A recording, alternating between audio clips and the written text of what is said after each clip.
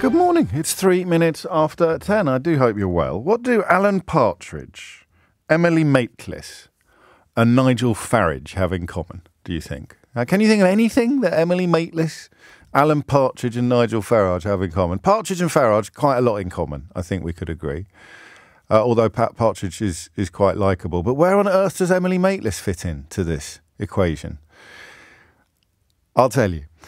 Emily Maitlis invented something or, or coined uh, a description of something that happened during the Brexit referendum called the Minford paradigm. And it refers to an economist called Patrick Minford, who uh, was pretty much the only established economist that you could find in the run up to that referendum vote who would argue from a position of some academic qualification that Brexit would be good for us economically.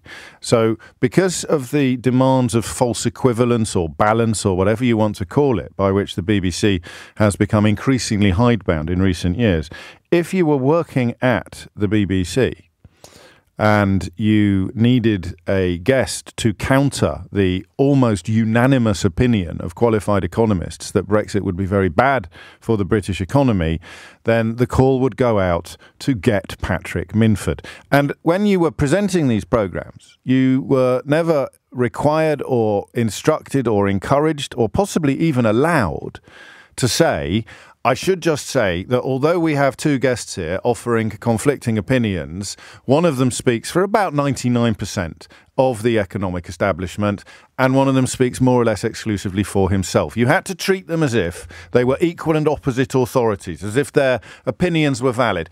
The, the big echo would be with climate change, where on one hand you have almost every qualified scientist in the world, and on the other hand you had the late former Chancellor Nigel Lawson, who had no scientific qualifications whatsoever. Up to and including the august Radio 4 Today programme would invite Nigel Lawson on to argue with scientists about science that they had spent their lives studying. And so it was with Brexit. Patrick Minford is here to tell you things will be brilliant. He was, as if the man was not struggling enough with the reputational damage of Brexit reality, he was also known as Jacob Rees Mogg's favourite economist.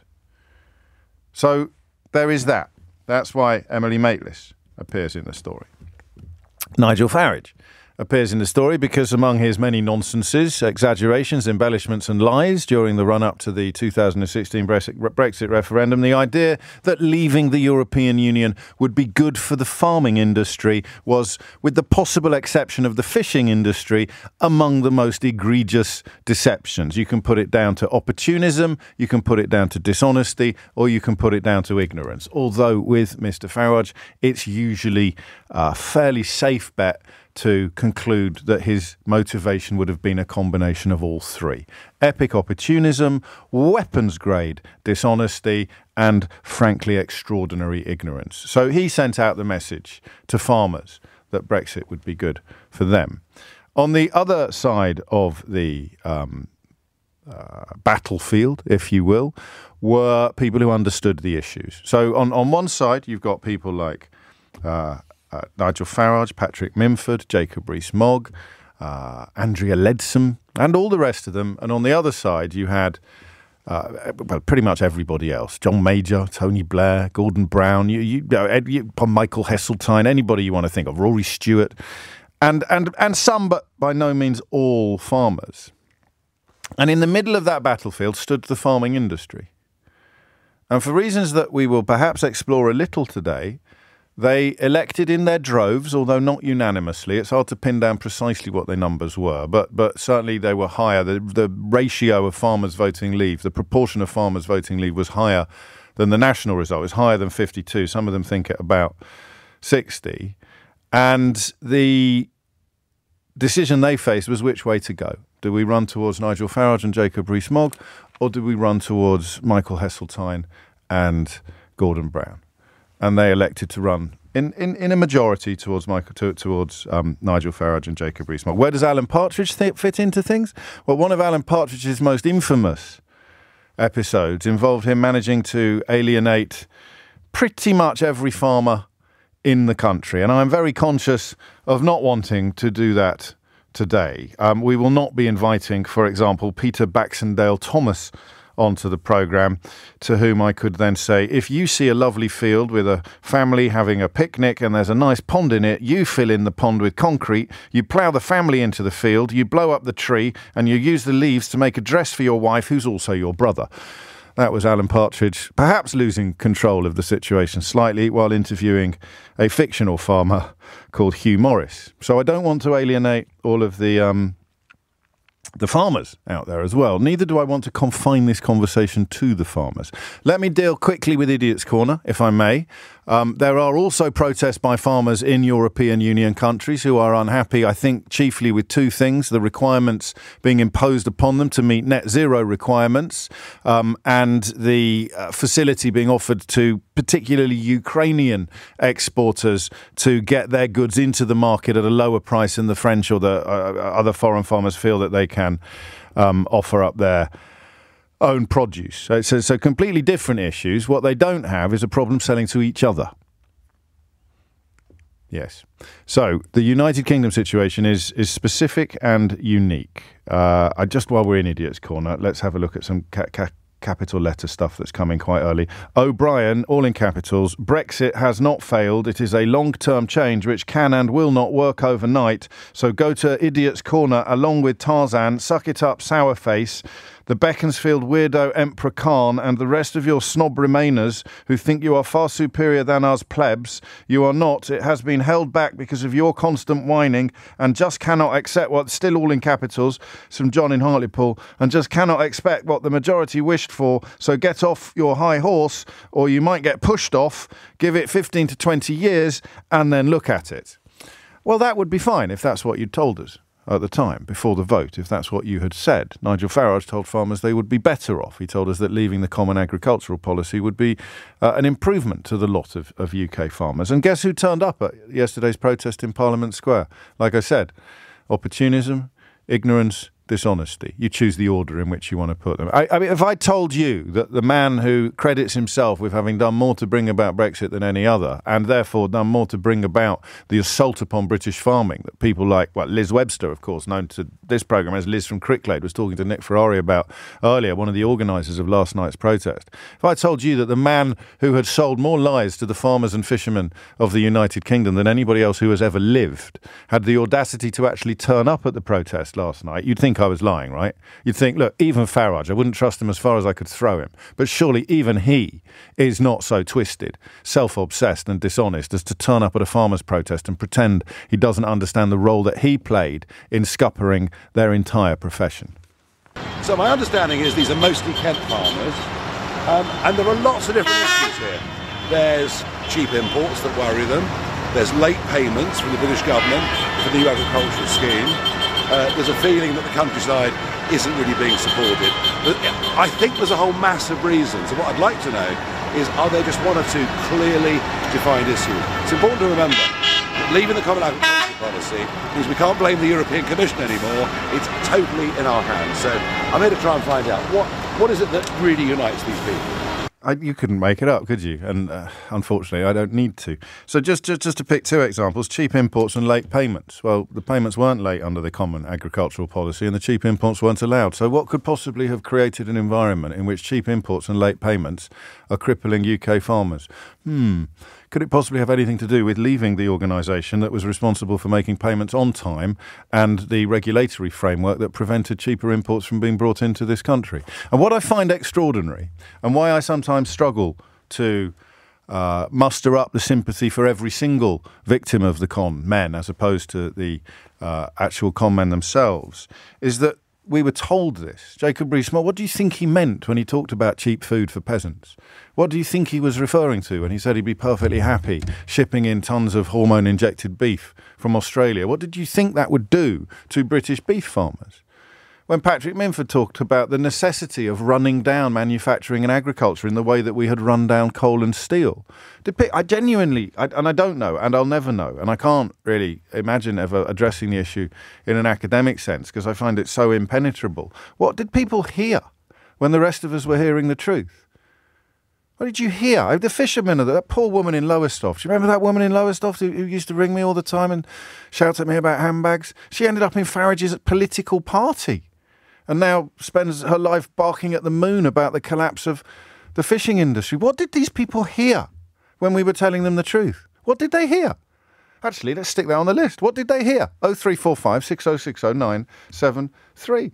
When we were giving them the truth about what was going to happen to farming and to a lesser extent fishing, what did they hear? You remember when no deal was a possibility? Everyone was marching around with their pencils up their nose and their underpants on their he- on their heads, shouting, "Let's go WTO!" That would have been even worse. Under WTO rules, every single producer on the planet would have been free to punt whatever the hell they wanted into this country without any checks, regulations, or, or um, phytosanitary requirements in place whatsoever. What do you think they meant when they said we need to reduce red tape, we need to reduce regulation? They meant health and safety. They meant things that protect us. They meant that you're not allowed to sell us rancid old carcasses that are riddled with maggots because it's against the bloody law that we don't like. Do you know what red tape is? Law. And now you still have people like Rees-Mogg and, and to a lesser extent Gove complaining about the laws that are still in place because they are uh, EU laws. So this is as if they care more about whether a law smells a bit French than they do about whether or not it does a good job. So here's a law that prevents you from selling riddled cow carcasses at British markets. Oh well, I think that's an EU law. We need to remember we didn't vote for Brexit in order to still abide by EU laws. Yes, but it would allow them to sell riddled cow carcasses at British markets. Yes, but it's a bit French that law. Let them eat maggots. It's absolutely insane, isn't it? So, question number one, and sometimes my questions are rhetorical because I don't know who can answer that question unless you're honest enough to admit that I'm talking about you. And you say, I'll tell you what I heard, James, and God knows how. I must have had gammon in my ears, but I heard when they said that British farming was going to get better, I, I, I just believed them, even though all of the people who knew what they were talking about said that it wouldn't. And it pains me to have to put farmers in capital letters, just to keep in the spirit of. Uh, John in Hartlepool. Uh, in capital letters, I have to put farmers near the very top of this list. Farmers seem to believe it more completely than anybody. Farmers had more to lose and more at stake than anybody else except the fishermen. Well, and the exporters and the universities. Um, I could go on. But farmers had more to lose than almost any other section of society, and yet they were queuing up to stick bloody great signs in their fields saying, vote Brexit. Everywhere you went in 2016, if you had the pleasure of driving through British countryside, it would be in some way sullied by seeing a whopping great trailer parked at the side of the road with vote Brexit on the side of it, or a picture of Nigel Farage with a pint pot on his head. The farmers seemed, and the statistics sadly support this to a point, the best efforts of people like Liz Webster notwithstanding, the farmers seemed to sign up for Brexit with more alacrity and enthusiasm than any other public facing profession in the country. So that's question number two. Why? What did they hear? That applies to everybody who thought that they were going to get uh, an improved life. I suppose you're getting cheaper food. It's just not being um, held to the same standards of health and safety as the food that you have to pay a little bit more for. Um, the farmers, why? Why did farmers sign up for it? I think we need to be reminded, and you may need to be a farmer to answer that question. And then we come to the mother lode. Then we come to the question that I don't think that we've asked before, but we will probably be asking again as the wheels turn and life moves on. We come to the question which, in many ways, poses the greatest challenge yet to the contempt for the con men, compassion for the conned mantra. I've told you a few times that seeing those words on placards being waved in the sky at the People's Vote marches that I had the privilege of attending was one of the maddest moments of my entire career. That, there's this little collection of words that we came up with together on this little old radio program, suddenly assuming a resonance that went way beyond the time that we spent together every day, and which I have done my best, not always successfully, to subscribe to ever since. Some of the conned deserve contempt because they relish in being conned. If you are celebrating the unhappiness of farmers, for example, who voted Remain and are now struggling with the consequences of their colleagues' actions, then you, you deserve contempt. You, you, you, you are profoundly unpatriotic. You have inflicted damage upon your own country while congratulating yourself on being a patriot. You are, to use a technical term, a complete plum. But other people who genuinely thought, because so many liars were lying to them, I, I, could run you through the list of LBC presenters who encouraged you to vote for Brexit. People you're encouraged to trust, people that you perhaps sometimes think that they are the yin to my yang. Well, James thinks this and he thinks that, or James thinks that and she thinks this. So, oh, it's 52 48. It was never 52 48. It was 100 0. If you genuinely wanted to improve our economy or keep it roughly where it was, you voted to stay in. But farmers in their droves voted to come out. And today they want our sympathy. That's the question. Can you give it? I, because I, I, I, I, I, I'm not sure I can. And I, I don't like that. Contempt for the con compassion for, for the con has helped keep us sane at times during the last few years. But the farmers, they were so certain so strident, so Faragist in so many cases, even the ones that were relying on foreign labour to keep their fruit farms afloat. You remember some of the earlier reports that we covered of people going back to farmers that had been very, very pro Brexit, who suddenly couldn't find anyone to pick their cabbages. Extraordinary uh, self sabotage. What, what can you really? I'm not talking about all of them. Although I will take calls from Remain voting farmers if you can provide me with some insights into the motivations of your colleagues. So that would be questions number one and two. What did they hear?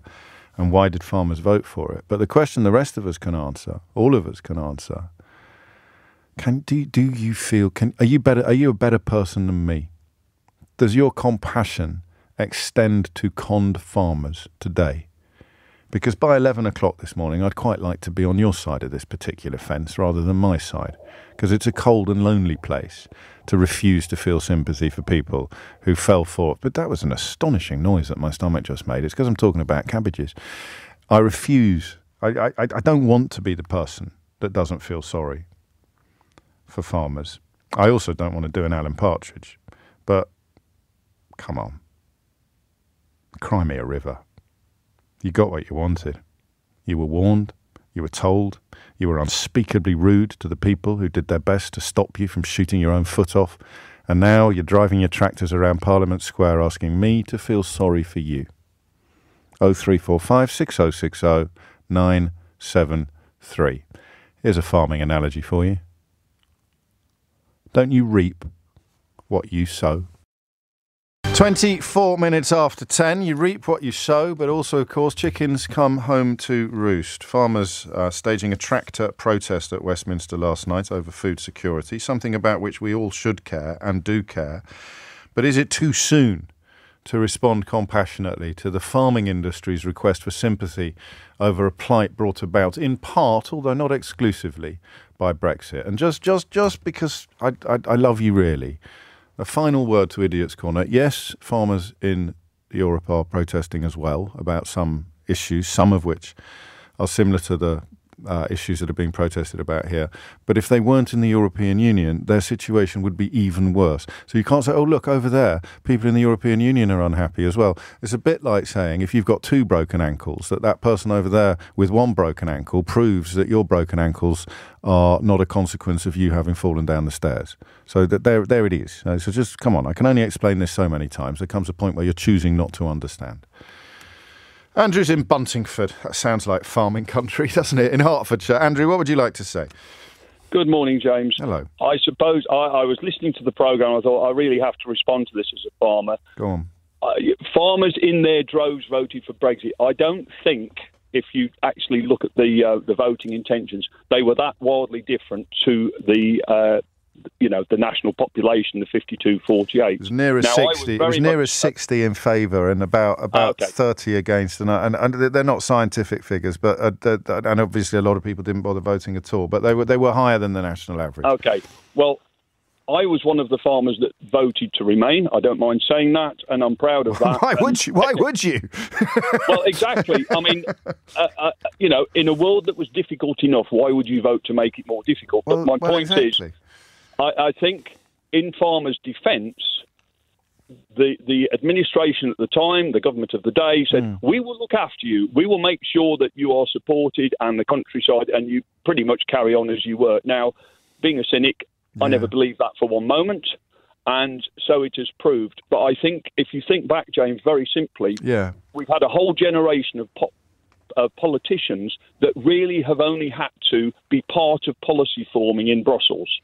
And they've they've been implementers rather than instigators, and you can you can debate the level that at which we chose to engage with Europe. The point is, all of Well, a on, on, on stuff like CAP, certainly when Margaret Thatcher was in Downing Street, we were very much leaders rather than followers. Well, absolutely. And, and if you recall back, we actually had the president of the European Commission was an Englishman, one Henry Plumb. Exactly that. Um, you know, you know, we were passionate supporters of it, and I don't know really what changed.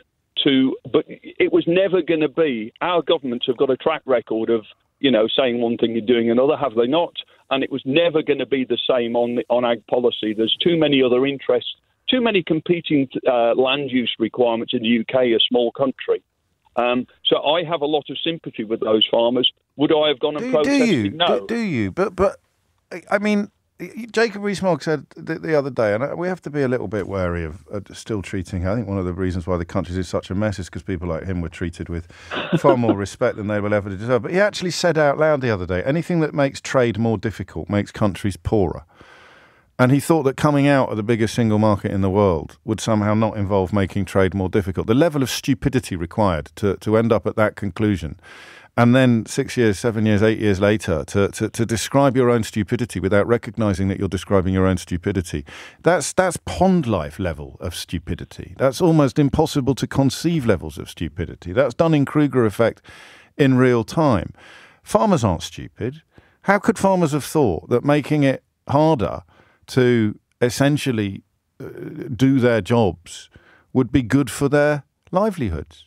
And and normally, mate, people are queuing up to tell me that they don't trust politicians. And in fact, the kind of people that tell me they don't trust politicians would be a little bit closer to your community as a farmer, perhaps, than to mine. The people oh, don't trust them for this. And, and so the defence can't be, well, they told us we'd be all right. Certainly not the people in charge didn't tell farmers they'd be all right. People like Farage and Rees-Mogg told them that they'd be all right, which is why I find it very hard to muster up much sympathy for them now, not unless they're contrite, not unless they're saying, sorry, we should never have voted for this, not unless they're going after the people that encourage them to do it, but they're not. you, you could apply that to, to the greater population about sort of recognising mistake. I think probably, though, as recently as 2019, when dear old Boris was in uh, number 10, Boris said, you know, farmers, we've got your back, we will look after you. Now, you, you can say that was an even greater level of naivety, but you can only you can only actually take things at face ah, I, this- I, I- you're, a- I think you're just a bit more, probably because it's your mates that we're talking about. You're just more generous than I am. I, I can't believe in 2023,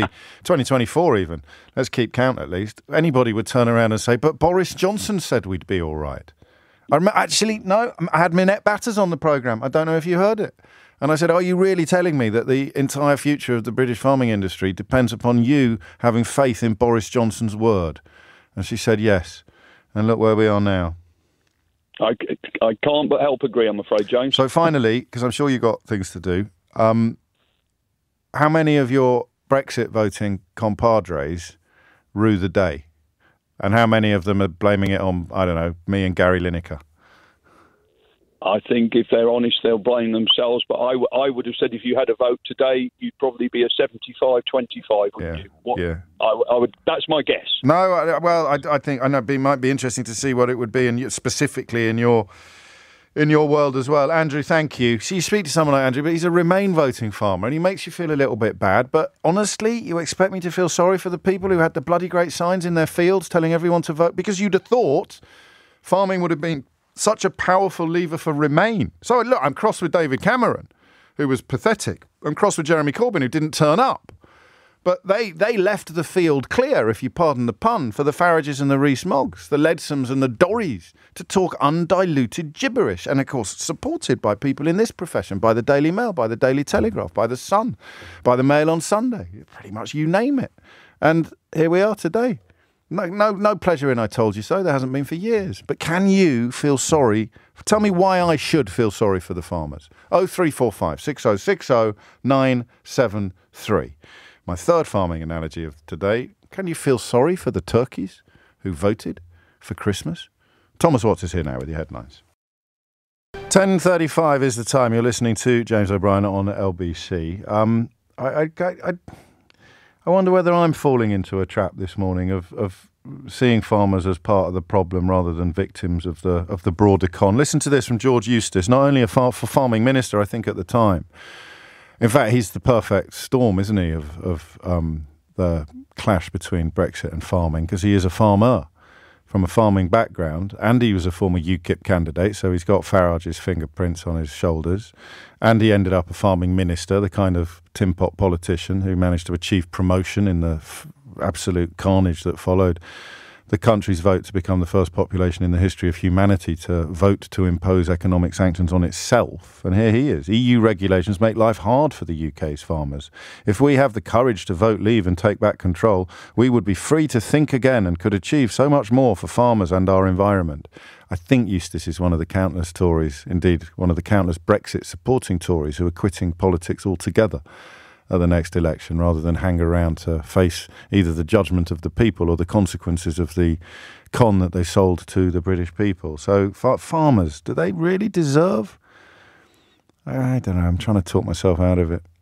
Sympathy or deserve to be treated differently from other sections of the society that voted to leave. I don't know, but here's that little exchange I had with Minette Batters uh, uh, into 2019 that the last caller, well, he wasn't referring to it. He, he referred to people believing Boris Johnson. I think the days of me feeling sorry for people who believed but Boris Johnson are behind us, but but maybe, and I was one of them once for about a fortnight in 2008. But maybe in 2019 it was still forgivable to think that Boris Johnson might have been telling the truth. My job is to represent farmers and, and make sure that their case is, is heard by government. And, you know, it's not just about um, George Eustice in, in all of this. The Prime Minister has made cast iron. We keep we keep coming back to this, and I am going to, I'm afraid, remind you that he made cast iron guarantees to the people of Northern Ireland and business people in Northern Ireland about the likelihood of there being any border put in the Irish Sea. So, where are you deriving your confidence that he'll keep his promises to you? Well, he is he is the prime minister, and my job is to hold him to account. He was prime I minister will... when he promised there'd be no checks on, on trade with Northern Ireland from the Great Britain mainland. He was, but this is where the, the power of the people is so important. You yes. know, the people have put him into that place. They've got a massive majority government. The people of this country drew a line in the sand last year when over a million people in two weeks um, signed up to this and said they wanted trade to be fair, they wanted food imports uh, to be produced to the same standards. I don't believe they will ever, ever forgive him if he reneges on that commitment. And, and we see um, a mass departure of farmers in our countryside. So he has to keep to his word. Um, and, you know, I certainly intend to keep um, banging the drum and making sure that he does. Now, of course, that is his decision. Yes. Um, but we we really do need to make sure that this is done right. And I think after COVID, you know, so many people have enjoyed walking in the countryside. So many people have only been able to cook. They've been buying out of yes. retail. They haven't been able to go to the hotels and pubs and restaurants that we normally do. And they value their food and they want to make sure that farmers in this country can possibly even produce more food so that we're not reliant on other countries on shipping food right the way across the world while we put our own farmers out of business. That would be a dereliction of duty by any prime minister, and, and I hope this one will stick to his commitment. But I share your concerns uh, of the past. And, and in, in, conclusion, then, you are, in many ways, the, the, the future of British farming depends upon Boris Johnson's ability to keep his word. it you. certainly does. It certainly does. And Uh-oh. Oh, indeed. The future of British farm. Now, that's the president of the National Farmers Union in about 2021, actually, a little a little later in the day. So, there's some compelling evidence that farmers are being slightly misrepresented when it is. Um, uh, there's a good article in West Country Byline Voices that makes the case for them not being particularly disproportionately in favour of Brexit, despite some uh, unscientific polling that suggested they were. Um, but I wonder how many voted for Boris Johnson in 2019 as opposed to Jeremy Corbyn, you see. So that makes you feel sorry for the farmers again. Hobson's choice that we all faced in 2019. If you were a farmer, you probably would have led towards the the um, uh, inconceivably morally corrupt character rather than the inconceivably incompetent character. And no hostages is giving me a bit of a lesson today as well. I always take my medicine if you serve it up politely. Didn't Kidderminster vote leave, James? And most people in your age bracket voted leave too. If we expect young people to feel sympathy for pension aged victims of Brexit, and people in Foyle, for example, to feel sympathy for victims in Boston, then farmers get our sympathy too. Um, not everybody agrees. Uh, uh, Donald says, I was working near Oxford, drove past a jingoistic pro Brexit side every day. Made me feel sick every time I saw it. I have absolutely no sympathy for Brexit voting farmers. Slightly different question from the one that I asked, which was sympathy almost for all farmers. But I don't know. Does it sound childish if I, if I say I just want them to admit they were wrong? I just want them to say sorry. Dana is in Maida Vale, not farming country anymore, although it was once. What would you like to say, Dana? I think you're absolutely spot on. I don't think we should be feeling any sympathy for farmers. I think all farmers that I've ever met, pretty no, I mean okay. I do know people who are farmers. Yes, of course. And they are pretty astute. They were receiving huge subsidies from the European Union to farm yes. or not farm or for their sheep or whatever.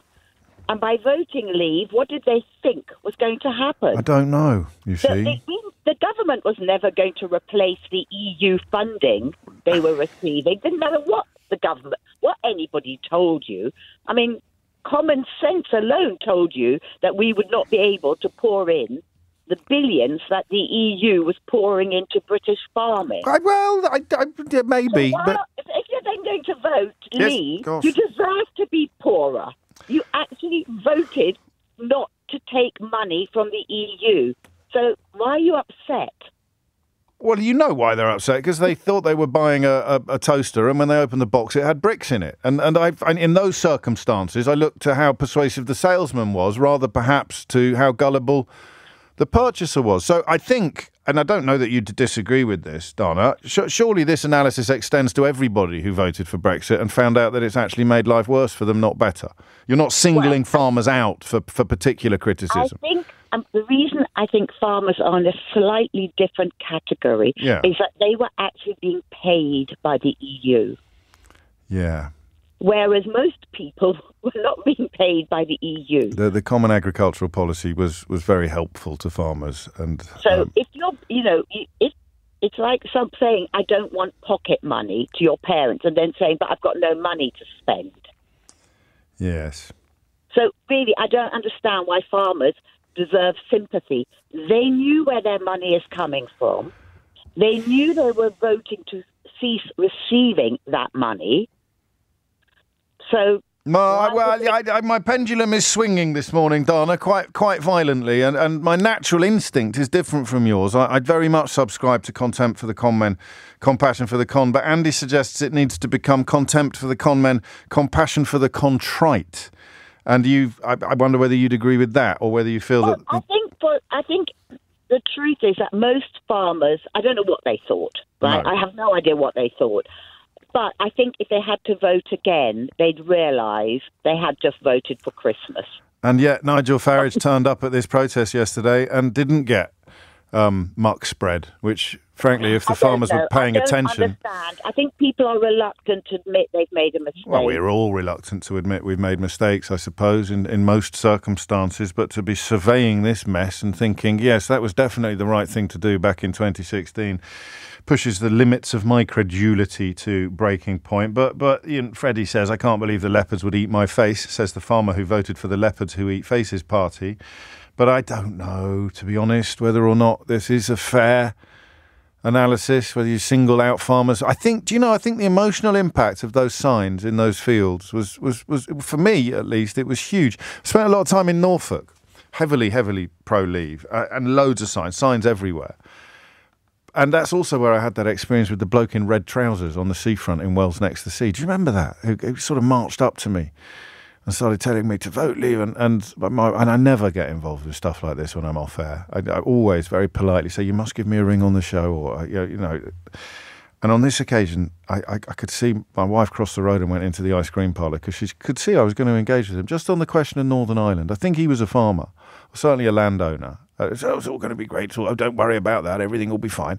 Said, What's going to happen in Northern Ireland? Do you think? How are they going to how are they going to deal with the fact that the Good Friday Agreement kind of demands that the regulations in Northern Ireland are exactly the same as the regulations in Ireland, and the regulations in Ireland are the regulations that are EU regulations, and you want the United Kingdom to be outside EU regulations. What's going to happen to? No- oh, don't you worry about that. It'll be absolutely fine. I, I, I mean, I, oh dear. I wonder. I wonder where he is now. Is he contrite? Is is he sorry, or is he blaming it all on Gary Lineker? It is ten minutes to eleven, and this this is uh, this is helpful. You, you you you don't have to feel sympathy, but you do have to offer support. If we don't get the farming industry in finer fettle, then we will be subject to all manner of grim imports that stand up to a, a, a, tiny fraction of the requirements that we've become used to in this country. Food security being a key driver of yesterday's protests in Westminster, and food security being threatened by um, uh, trade deals, for example, that allow imports of food produced to standards that would be illegal in the UK. So British farmers being held to higher standards than the farmers in countries that Liz Truss and now Kemi Badenoch claim that they're signing trade deals with. Trade deals that couldn't have happened unless, of course, we'd left the European Union. So I like that. Quite a few of you picking up on that distinction. You have to feel sorry. You don't have to feel sorry for them, but you do have to support them. In which case, I find myself feeling a bit paternalistic. Because you just, well, you just take some responsibility for what you've done. Would you please? Uh, you know, stick a bloody great sign in your field saying rejoin now. Or, or in fact, as Liz Webster told Nick this morning, you need to realign with EU regulations in order to support farmers.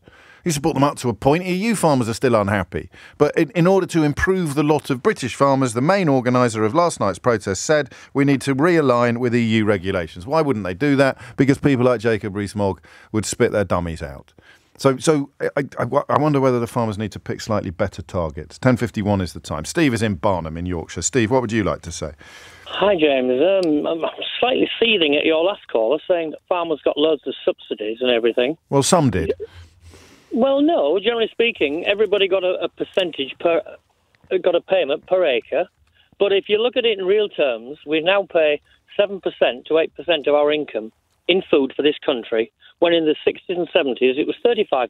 And if you go back even further, it would be 60 odd percent. These, these are two things can be true at the same time. The, the, the Common Agricultural Policy saw subsidies for farmers, and at the same time that that's been taken away, at a period for farmers where supermarkets have been scalping them. No, no, James, no, no, James, you've got to stop there. Okay. They haven't been taken away. In, we're all we're in demographic to Scotland, they have their own way of sorting it out. Wales has its own way. No, the England common agricultural policy no longer yes, applies yes. to the United Kingdom. And one of the key okay. complaint one of the key complaints of the farmers last night was that they weren't getting as much as they used to get, and what they were getting was coming late. Those are direct consequences of leaving the common agricultural policy, which was a direct consequence of being in the European Union. We haven't, James. James, you're misunderstanding. Oh, I, I can't say everything, James. No, that's because, all right. Go on, finish, because our our subsidy has been phased out but they're now phasing in, it's called an FSI, which is an environmental situation. And we are able to get, some people can get as much as the old subsidy, some probably get half as much. Yes. Well, but, I understand but, it perfectly. But the stamp, but but the stamp has now come down. Just the other day, yesterday, I believe, where they want people to put to take out of production no more than twenty five percent. So they, they're going to pay people to put wildflowers and legumes in and all that situation. Now, what farmers voted leave for really yeah, was they wanted rid of the red tape. What red I voted? Remain. What red yeah, tape? Red Red Tractor was one of them. Red Tractor, but it was an English invention. We have our our own situation. We started ourselves. The NFU started it. Minette Batters started it, and it started to take so, over. Listen, I, I, you're suggesting, and you speak about your uh, Brexit voting colleagues. You don't speak as one of them, but they they thought that things they found cumbersome had been imposed upon them by European Union membership when they hadn't actually no, been. No, it wasn't European. It was no, our I, own. No, I, no, you've got to let me finish. You keep interrupting me and telling me I don't understand things. And if I get to the Go end of the then. sentence, you'll realise that I do. So the red Yeah. tractor was not imposed upon them by the European Union, but but they thought it was, and they voted to get rid of it. There is some stupidity there, James. I'll But give you that's that what one. that's what you're describing. I'm just checking that I'm understanding you correctly, No, that's Steve. okay. I tried to tell people. Right. I, they said the government said they'd look after us, and I said no, they won't. Ah. Just the same as your last rema- your last remaining farmer said. Yeah. I said no, they won't look after us. But in reality, James, we're getting there's 2.9 billion going to farming, and the envi- and now it's called the environment. Mm. So we're supposedly still to get the same amount as we got when we were in the CA when it was the CAP. But it's in a different form. And and it doesn't. mode. And you're not addressing the trade deals that that farmers last night claimed allowed food produced to standards that are illegal in the UK to be imported into. Well, we don't exactly have too many trade deals going on at the moment because they haven't really started yet. What their problem is is red tractor again, where everything we sell has to be red tractored, monitored. We pay for it to be red tractored, assured, and it goes into the mills. Now, then, that mill will have a pile of oilseed rape, wheat, whatever, but from it will come in from other countries, and it hasn't been red tractored, and it's called gatekeepered. It was held to And lower just- standards, but that wasn't true. But that wasn't true before. To a degree, it had to Well, been. I mean, in, in a way, you're saying that from- the farmers who were protesting last night didn't really know what they were protesting about. No, they're protesting about because we've left the union now. Yes. we've got to fight for ourselves. And the red tractor is in, and No, the red tractor. but the organizer of the entire event said that we need to realign with EU regulations immediately. That's what the protest was about, Steve. that means we don't have imports from other countries. But where do you get? But James, Produced to, your, produced to lower sta- lower standards, from? and you can't we can't gloss over this. I speak to her on a regular basis. The main reason for the protest was to realign with EU regulations.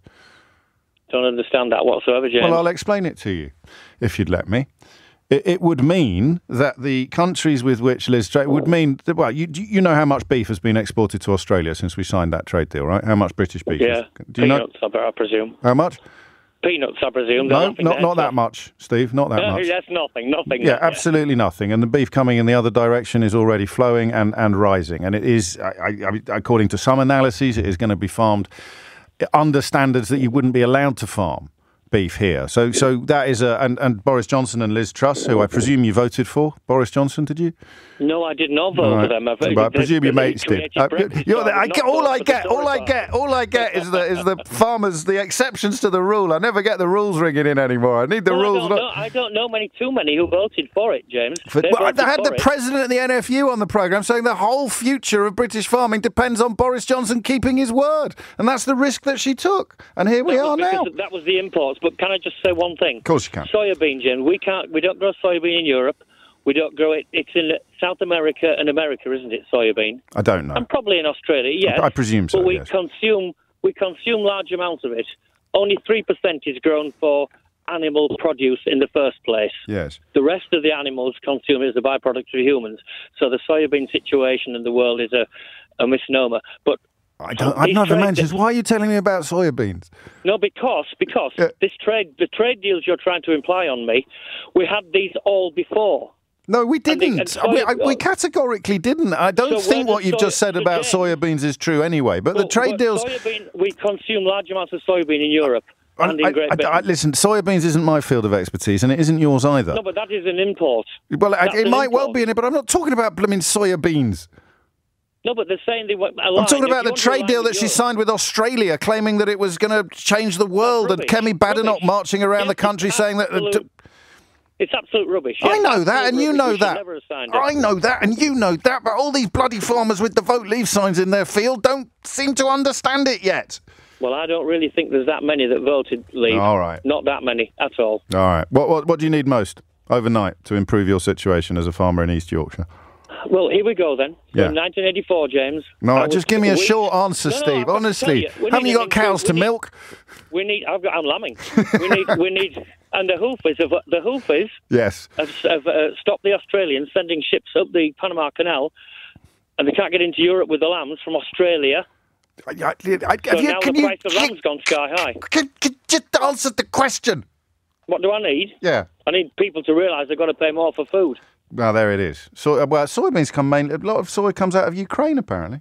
No, well, we, but it's most of it's from America. So all, so them saying they want to align So with our thing. imports doesn't work Well, because we imported from Australia and America. We imported from America, All right. I, somewhere when, when people you can rewind, by the way, on Global Player and listen back to this conversation. And I'm sure elements of it have, have, have made sense. You, you clearly know what you're talking about in some areas, Steve. And with respect, I do too, and in other areas I don't, and in other areas perhaps perhaps you don't either. But all of the people, Jen. well, all of the people who voted for Brexit because they thought they were going to get cheaper food, they're the real Yeah. problem here. Because it couldn't Yes. really get any cheaper unless you started allowing stuff that was either undesirable or unsafe to be sold in British shops and supermarkets. It can't get any cheaper. It can't cannot get- get, any cheaper because any we can't live. The subsidy was there to help us keep supporting. In 1984, wheat Well, was 140 thought. And pounds so we're a back ton. to the subsidy. and now it's 170, James. That's we where we can't. started. we've had a, we've had that's it. The subsidy's there to help us keep producing it. It should be 600 pounds a ton. And that's that's a conversation that no politician seems prepared to have. I've had a text That's off. I've had a text off Robert Steve. He says, "You and this farmer make a great double act. Are you busy after lambing?" Very well, James. We Very could, good, James. we could go on tour. It's 11 o'clock.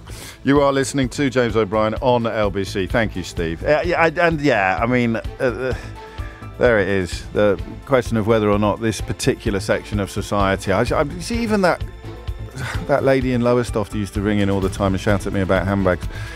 I even felt sorry for her, even as she was joining Nigel Farage's party. And, and you sit there going, I promise you, he's not someone you should be trusting with the future of the Lowestoft fishing industry. He doesn't care about anybody except himself, and he's incapable of giving. Uh, he can't even lie straight in bed. He turned up last night at the farmers' protest. It's extraordinary. There's just something visceral about food production, but it shouldn't be. Shouldn't shouldn't be treated any differently. So I now go back to feeling contempt for the conmen, compassion for the contrite. Four minutes after eleven. Um, I think that the uh, conversation about Israel has moved from speculation to conclusion, hasn't it? Benjamin Netanyahu's course has damaged the country's standing in the world. It has diminished the support and affection that, that many others in the world feel for Israel. And it has happened really, it's been sacrificed really at the altar of his vanity and ambition. The United Nations Security Council passed its first ceasefire resolution last night in which it demanded that the fighting halt for the Muslim holy month of Ramadan. The United States abstained and declined to specify a timeline for the release of the hostages kidnapped on October the 7th, which suggests that they finally recognise the. Um, it's very important to get the words right. Uh, Not necessarily the impossibility, but they recognise the jeopardy that Netanyahu's attempts to tie together the destruction of, of Hamas, the release of all the hostages, with the cessation of hostilities against Palestinian civilians uh, was doomed never to um, never to happen. He's cancelled a visit to by Israeli officials to Washington. David Cameron, it's extraordinary the angle that the Daily Telegraph takes on this. The, uh, the, United Kingdom um, helped pass the first UN Security Council resolution for calling for a ceasefire in the Israel-Gaza conflict. I'm going to say that again, actually, because many, many people feel, rightly or wrongly, that the United Kingdom, that the Conservative government and the Labour opposition have done too little, too late when it comes to calling for ceasefire in Gaza. And and yet, when they finally get around to doing it, the Daily Telegraph chooses to report it as a Tory backlash as Britain votes for unconditional Gaza ceasefire. Extraordinary, really, to reflect that this is a report built upon the idea that four Conservative MPs challenged Lord Cameron behind closed doors at a 1922 committee meeting. So the United Kingdom actually endorses a UN resolution that passes calling for a ceasefire in Gaza. And the Daily Telegraph chooses to lead on the idea or on the news, in inverted commas, that four Tory MPs complained to the UK Foreign Secretary about that decision. It, it's actually bizarre now where this story has gone. And the reason why it is so bizarre is because people can't make head nor tail of what's happening now because they believed so much of what they were told about what was happening then. If you were listening to this program, you're probably all right because we have managed, and it hasn't always been easy, but we have managed to uh, successfully record repulsion.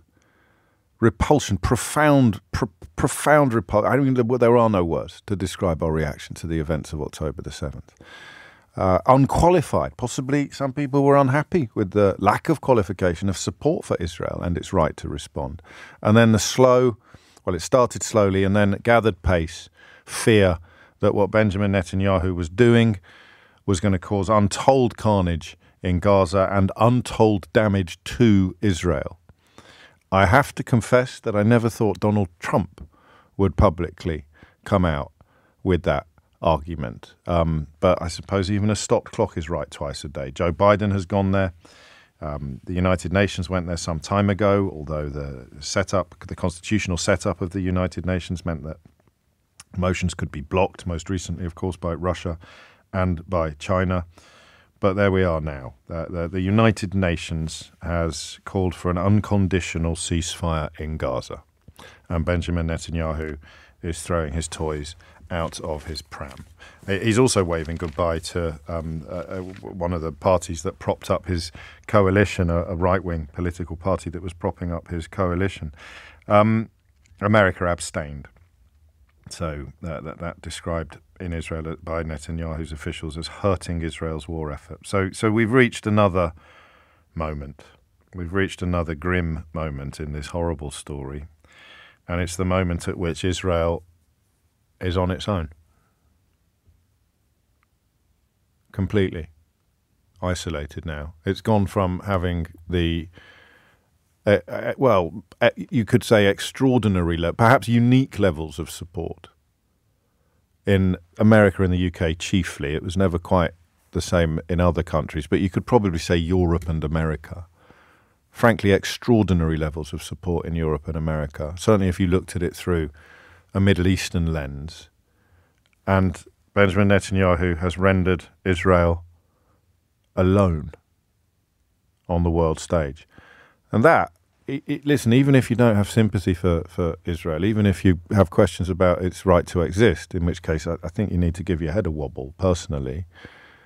But for the for the for the Jewish state to have been cut loose from the international community by the Israeli Prime Minister, I, I, I mean, I've got no skin whatsoever in this game. But I find that quite scary. That's what Netanyahu's done. And, uh, you know, uh, uh, having been able to see it coming is no comfort whatsoever. Having been able to describe to you that this was bound to happen, unless something pretty significant and almost impossible to describe, almost indescribable happened. This was bound to happen. This trajectory has been clear since probably November or December of last year. And and you know, I know I, I do sometimes need to offload on you. Sometimes it probably seems a bit daft or a bit self indulgent, but sometimes I do need to offload on you. Uh, sometimes it's really difficult conducting these conversations. I, you know, I can joke about Idiot's Corner, but there are some accusations that not caring about dead Palestinian babies or, or hating Jews. That, that some of the accusations that come in, they don't that I don't. I hope they don't stop me from having the conversations, but um, uh, you, there are some sort of allegations or, or, accusations that do hurt, and some people who have public profiles have, have done it as well. I don't think it would be appropriate to, to single them out by name, although I reserve the right to do that, and I may change my mind. Uh, and I'll use my public platform to call them out in the way that they use theirs to, to call me out. But this stuff resonates. This stuff lands, you know. And the idea that you would be called anti Semitic for simply explaining that what is now happening was going to happen is extraordinary. It's like calling somebody anti Semitic for explaining that the sun was going to come up tomorrow. This, this has been inevitable since it became clear that there was no answer to the question of how much is too much. And sometimes a phone in show can seem a bit simplistic or it can seem a bit crass, but it's not, you know. But When we get it right together, because I can nothing without you, when we get it right together, we can distill really complicated issues right down to the crucial questions, to the bare bones of the issue. And that was the question that we probably should have spent even more time examining three, four months ago. How much will be too much? Because the people ringing me to tell me, or in terms, although they'd never say it quite explicitly, people would ring me and essentially refuse to acknowledge the notion that there was a that there was a possibility of too much being too much. It, there can't be too much. We have to carry on until Hamas has been eradicated and the hostages have been released. And you'd say yes, but you you, you almost begin to sound like a coercive partner in that situation. It's like I, I won't stop hitting you until something over which you have no control happens. Uh, you know, the, the, the people being killed in the Gaza Strip have absolutely no agency in the question of whether or not the hostages get released. And Hamas being destroyed as you continue to arguably undertake the biggest imaginable recruiting program in the history of the Middle East seems to be an utterly unachievable goal. So you're left today with a conclusion that has been clear for some time, but which I have been reluctant to articulate. And, and that is that I don't think Netanyahu was telling the truth. I, I think that the the fact that today's or last night's call for a ceasefire is unconditional is the point at which the world has recognised the, the, the, or the world has acknowledged it may have recognised it long ago acknowledged that the uh, Israeli conditions are unachievable that Netanyahu's conditions for, for, for cessation of hostilities are unachievable. It is an unscorable goal. It will never happen. God, you have to hope the hostages get released, but the eradication of Hamas? Not a chance. And how many hostages have been killed as a consequence of the bombardment of Gaza? We will probably never know. So if you struggled to understand what that meant, you were right. But if you'd said so out loud, you'd have been called anti Semitic. Until today, when everybody's saying it. I mean, literally everybody. America abstaining, and the UK voting for a Security Council resolution at the United Nations demanding a ceasefire, an unconditional ceasefire for the duration of the holy month of Ramadan. I presume that Israel will ignore it, and I don't know what that will mean or what that will signify or what that will entail moving forward. Um, but I do know that that is probably the loneliest Israel has been on the world stage, and I haven't got the history to say this with certainty, but certainly in all the time that I've been doing this job, this is the loneliest Israel has been on the world stage since the country was founded. And it's all on Netanyahu. How do you process that? I think the question is how does it end? 0345 606 0973. And this, I think, will demand degrees of knowledge and understanding that are a little bit above average. How does it end? How does it end? Because you could see Netanyahu continuing down this path if he retained the support that um, he presumably was relying on. Although, again, I, I, mean, did he know that this was going to happen? Surely he's been warned. Biden would have warned him publicly. Never mind what was been going on in private. Chuck Schumer, the most senior Jewish politician in the whole of the United States of America, used the word pariah two weeks ago. I did the, the I, you know, look, sometimes I pat myself on the back for correctly predicting the direction of traffic in political affairs. A, this is too important to, to, to be engaging in that kind of conduct. And B, it, it was really, really obvious, unless your scarf was tied so tightly around your neck that, that you couldn't see the wood for the trees. This was so obviously going to happen. Netanyahu was so obviously not going to change course, partly because to do so would have been opening himself up to not just defenestration, but, but prosecution in Israel. Longer he can sustain hostilities, the longer he can evade justice uh, on really simple terms. Loading his cabinet with people who call for things like nuclear bombs to be dropped on the Gaza Strip. How can anybody today be surprised by where we've ended up?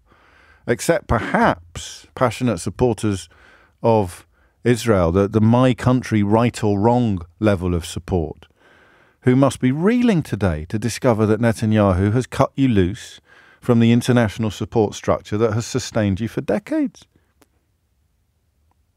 So, how does it end?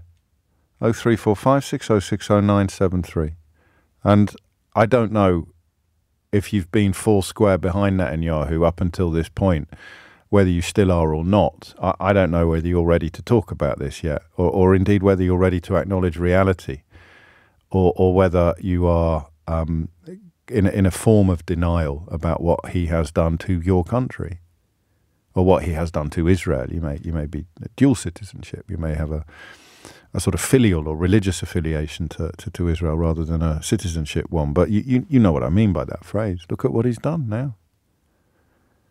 Look at what he's done. So how does it end? And also how does it feel? How does it how does it feel? 0345 60973. The latest resolution restored the word permanent to the original submission and was passed due to no objections. The chamber in New York broke into applause after the vote. So, that, in a sense, is the whole world clapping. Uh, the call for a ceasefire, which until relatively recently many supporters of Israel would describe as uh, somehow offering up support for Hamas. It's weird, isn't it? How quickly the scales can fall from your eyes sometimes. How, how, how have we ended up here? And how on earth does it end? 0345 6060 973. How can you say that it is all on Hamas, James? Um, I didn't. I said that the, the, the, state of Israel, the, cutting loose of Israel by the rest of the world, is, is all on Netanyahu. And yet, without the Hamas attack of October the 7th, Netanyahu would never have been able to do what he's done. So I, I, you can share the responsibility if you want. But the question of how we got here, and much, much more pertinently, how the hell it ends, is one that we will not be able to answer definitively, but we will at least try. 0345 6060 973 is the number that you need. And I, I, mean, if, if this was a private conversation rather than a public one, I, it would be a little. It would have elements of the last hour, you know, or the, the context and the content is completely different. How the heck could you not see what was going to happen? Is the question that I've got boiling in the back of my. How could you not see that this was going to happen? So busy throwing around your, your hurtful accusations and your meaningless phrases your ludicrous allegation. How could you not see that this is where he was taking you? Hit the numbers now, you will get through. It's 20 past 11. 24 minutes after 11, the Times analysis, uh, that's the London Times, states that Benjamin Netanyahu and President Biden are on a collision course that will end when one of them leaves office. So there's the first answer to the question of how, how does this end, although that's only partial, isn't it? The crisis between the pair, which has been building for weeks over the war in Gaza, ruptured again when the US abstained on a vote in the United Nations Security Council that called for an immediate ceasefire. Um, how do you think it ends? And if you can, if you want, how, how, did it end up here? How did how did Netanyahu manage to take Israel to a place where it has been essentially cut loose by the rest of the world? for now at least. I, I, these things are never permanent. Matt's in Hull. Matt, what would you like to say? Oh, James, we've we've spoken before about uh, Trident uh, okay. uh, quite a while ago, and the fact that it wasn't a, a deterrent. But uh, I think the only way that it can happen now, it's become so entrenched, is for the UN to actually impose uh, a settlement where they would recognise Palestine as a state and make it a full UN member uh, you would have to go back to the 1967 borders, probably. Uh, you would have to remove the settlements from the West Bank, and you would have to put UN peacekeeping troops in well, there. that's never going to happen, is it? Uh, well, it's happened before. You know, I mean, we've done it in Africa, we've done it in Southeast Asia, we've done it in the Middle East that's before. So, point. I, I, yeah, I mean, the, the uh, you, I don't know quite what the word is to describe that. I'm not sure that that imposition would be tolerated by Israel almost certainly not. But I mean, what, what's the alternative? Just letting it rumble on forever and. You know, I mean, uh, it's yes. almost as though. That, I mean, that that is probably if this was a, a, a vote, I think that would probably get the majority support, wouldn't it? In terms of what people think, not what people want. Yeah, and also the UN resolution. I mean, there's already countless UN resolutions in place, you know, saying that any extension beyond the 67 borders is illegal, and that you know the settlements in the West Bank are illegal, and you know, they're just ignored because usually America uh, backs you know, vetoes things, and you know, the, the first few attempts at a ceasefire mm. were vetoed by America. Then they proposed a very, very watered down. Yeah, but that's the point. That's the point, isn't it? That the the, uh, I mean, if they can't even offer up support for the relatively modest measures that they have rejected, the idea of, and without America behind any of this, none of it's ever going to happen. The idea that they would develop an appetite for what you're describing is is beyond. Uh, well, yeah, I mean, as you beyond say, all, become, all plausibility, isn't it? Yeah, I think the shift in the American position, though, is uh, as you you know, it's pretty obvious to anyone that Israel is extraordinarily isolated, but America is becoming isolated because they were the only nation yeah. strongly back in Israel. So the shift is more the effect upon America, not some revelation that you know this has to stop in Gaza. It's the fact that the uh, Americans are suffering but this is this is the tail wagging the dog in a sense. This is this is the public opinion, and some of the numbers in the primaries that Joe Biden will have seen may have played a part in his um, thought process. Yeah, particularly in Michigan, yeah. But um, uh, uh yes, it, particularly in Michigan. But but it but it's still real. Do, do, you see what I mean? Even if there's a cynicism in some of Biden's cal- calculations, rather than a, a you know an unerring moral compass that's that's spinning he, he is catching up with public opinion. So, and, and this is terrible for supporters of Israel. It couldn't actually be worse because now yeah. the most powerful politicians on their side yeah. are buckling, arguably, under the weight of, of, of public opinion, which has watched the carnage in Gaza and felt its revulsion at the terror attack of October the 7th and cannot help now but apply a form of scales, I suppose, to the proceedings. And, and yeah and and it's you know it's just basic mathematics to work out where that leads. Well, on, on the other side of that, though, you've got public opinion in Israel uh, yeah. because even though Netanyahu is not popular, what's happening in Gaza is yeah. popular with an overwhelming majority there's even a sizable chunk who think it isn't going far enough. And and Ben Ben Gvir, Itamar Ben Gvir is speaking very loudly to them when he calls for an intensifying of the war after this Absolutely. revolution and striving with all our might at any cost. That's the line. There it is. At any yeah. cost. That's the point, isn't it? That's the Absolutely. point. That's and, the point. That, that America and even more so the UK are not prepared to countenance but which members of Netanyahu's government are, and increasingly they are prepared to say it out loud. And as you say, it doesn't necessarily come without public support at any cost. So there, there is not a yeah. death toll that would be too high, even though most people would probably accept that the goal is an impossible one to achieve. So it's an impossible goal yeah. with. With with a with a with an immeasurable cost, it's extraordinary that we've reached this place, but we have. And I think almost it seemed at points that the kind of attitude was if we kind of kick the can down the road long enough, yeah. this will solve itself because there just won't be any Gazans left. I, I, I, yeah, and, and, maybe that's where the public opinion has stayed the hand of the of the British and the American politicians is that they they can't sit by and let that. I don't know. I, mean, we, it's possibly a speculation too far. Matt, thank you. Speaking about the context, the background context, this is a poll from 2016, so it's it's not new, but this is, and it was um, by Pew Research, published in the Times of Israel, found that nearly half of Jewish Israelis agree that Arabs should be expelled or transferred from Israel, and a solid majority of 79% maintain that Jews in Israel should be given preferential treatment, according to a Pew Research Centre in Israel survey published on Tuesday. So, I, I, the, the, the context, the background that Matt describes, sometimes on this side of the world, we're not fully aware of. Um, uh, and uh, and for example, here here I'll read out a couple of the texts, even the slightly less pleasant ones. Your naivety on US and UK abstaining. Uh, the UK didn't abstain, but you tell me more about my naivety. And the, and the UN demanding a ceasefire has reached a new level of dot dot dot dot dot. Irrespective of who is the PM of Israel, Israel was always going to be alone and stitched up by the US. Qatar and the Muslim world laugh at the West and their slumber. The pity is journalists, you included, are being played and choose to ignore true facts. To which my very simple response is why won't they let journalists into the Gaza Strip then? I'll, I'll, I'll wait, shall I? If, if, if journalists are being played, why won't they let them into the Gaza Strip to report properly? Why can't Matt Frei go there with a camera crew right now? I'll wait. Thomas Watts has the headlines. It is 25 minutes to 12. Uh, and uh, I guess the other element of what people like Itamar Ben Gvir are saying, the, uh, described as a hardline security minister, Um, although that barely comes close, we, we, must strive with all our might at any cost for victory against Hamas. I, I think some of these characters have forgotten to mention the hostages now.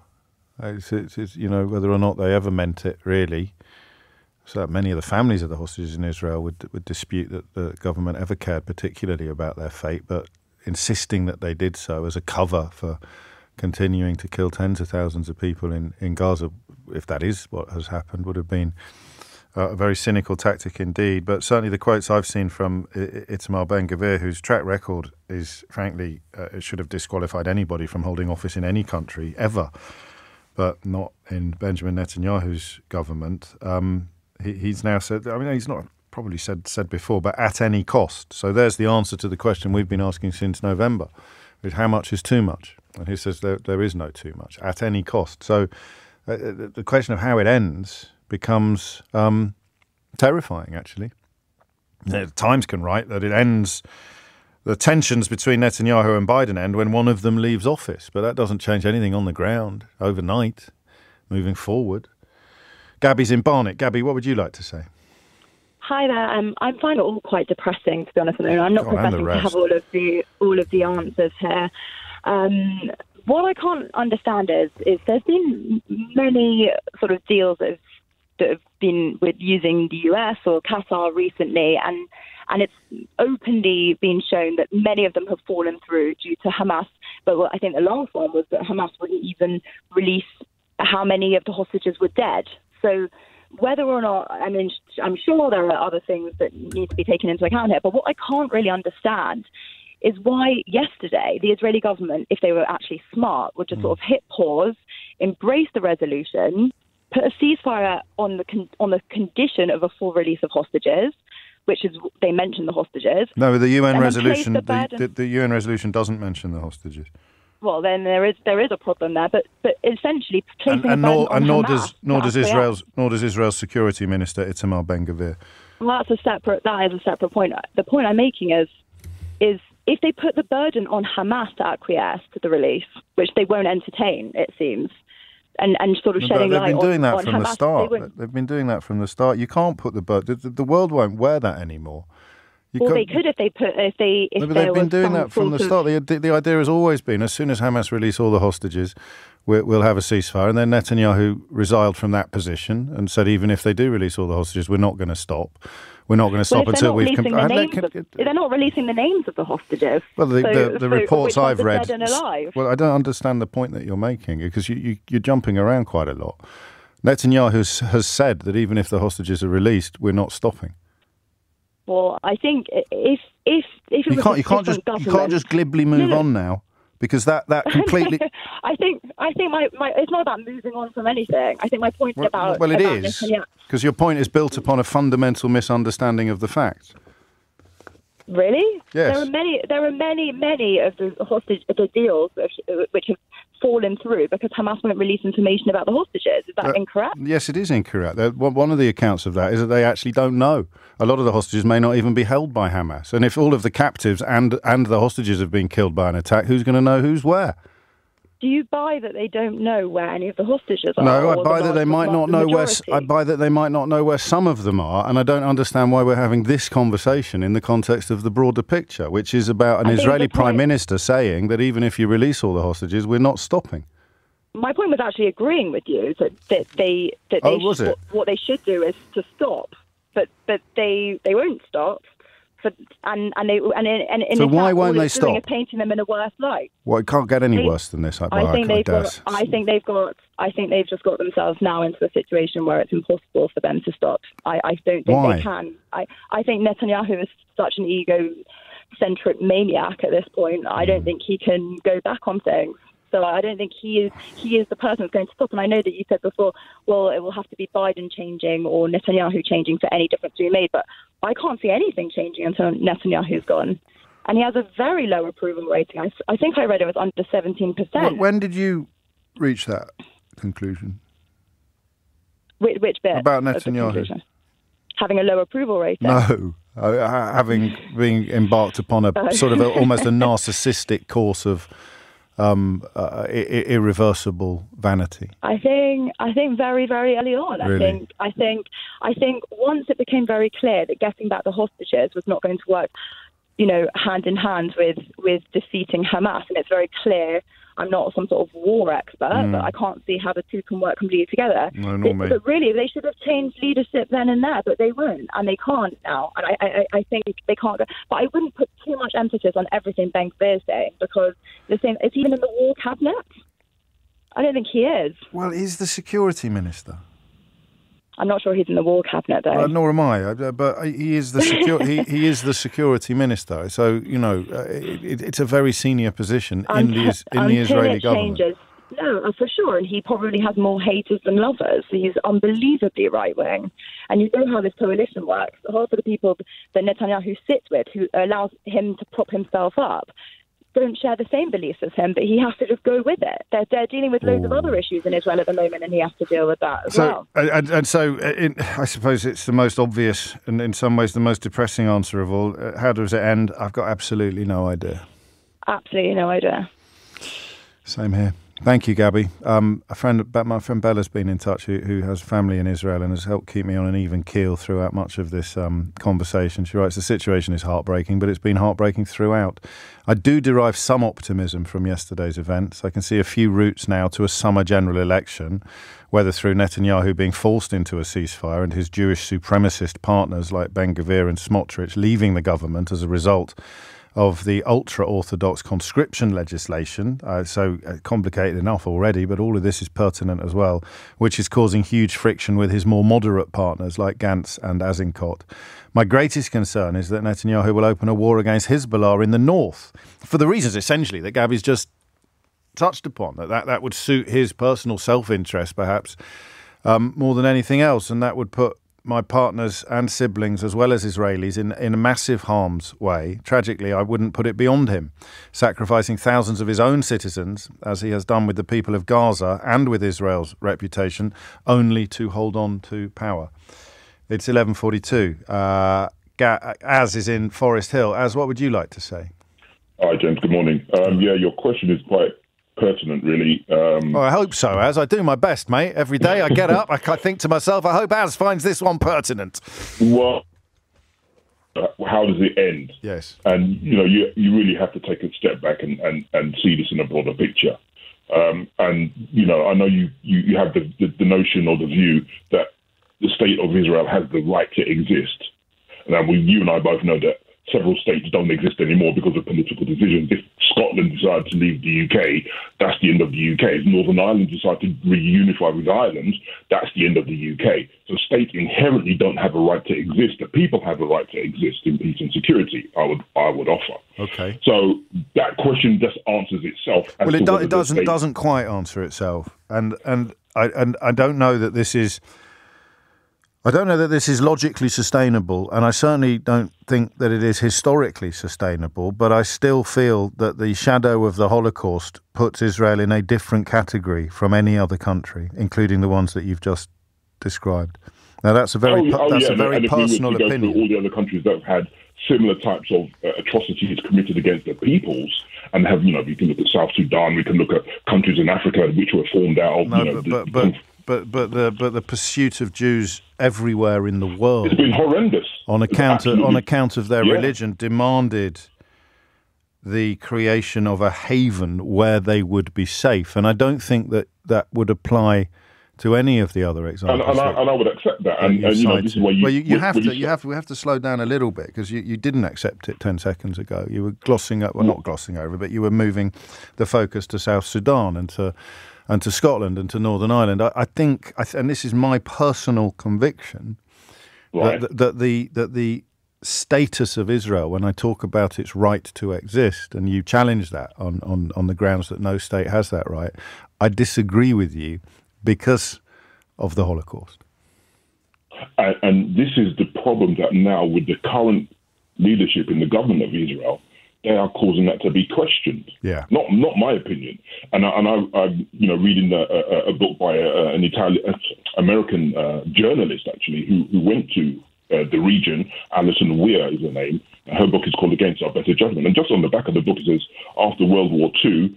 Uh, several members of the uh, uh, statesmen of the United States of America warned that the creation of Israel on the land already inhabited by Palestinians would imperil both American and all Western interests in the region. Yes. Despite warnings from you know the military and other personnel in the, in the U.S. administration. So you see this conflict between the, the uh, executive in the United States of America and the executive in Israel yeah. because th- they want to have this uh, uh, continued uh, support for the state.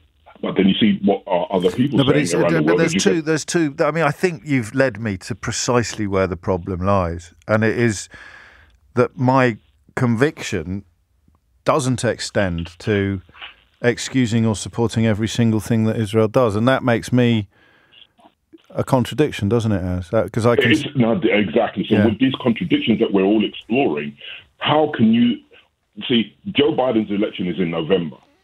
Yeah. What will happen between today and November if nothing changes? There will be more Palestinians killed. Yes. And how are people on the ground going to take that? There are going to be more protests. The governments are going to say, you can't protest. People are going to continue to protest wherever they are, wherever we are. That's going to continue to happen. Yes. And as we mentioned Michigan, your first caller mentioned Michigan, I spoke to you about that before, the uncommitted voters. That's a political dynamic that you didn't you pushed back against the last time I spoke to you.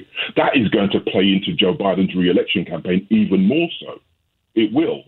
Donald Trump has also come out and said what they're doing has to stop even though he still supports the state. Well, he, has, he hasn't quite said that. He's essentially, I mean, depending on how you read his words, you, you could say he's, yes. he's sort of given Israel, he's encouraging Israel to, to go to, to do what Ben Gvir is describing, to go in and uh, you know reduce the, the Gaza to a position of absolutely uh, no resistance to reduce Gaza, Gaza to, to, to, to, rubble, and then it would be over. So get it finished, I think, is what he said, which is not, not quite the same as calling for a ceasefire. Well, so, exactly. th- so that's that's the point. That's that's the problem. So, I mean, you're right, aren't you? Because either you either you say such is the unique status of Israel that its survival and its existence must be protected at all costs.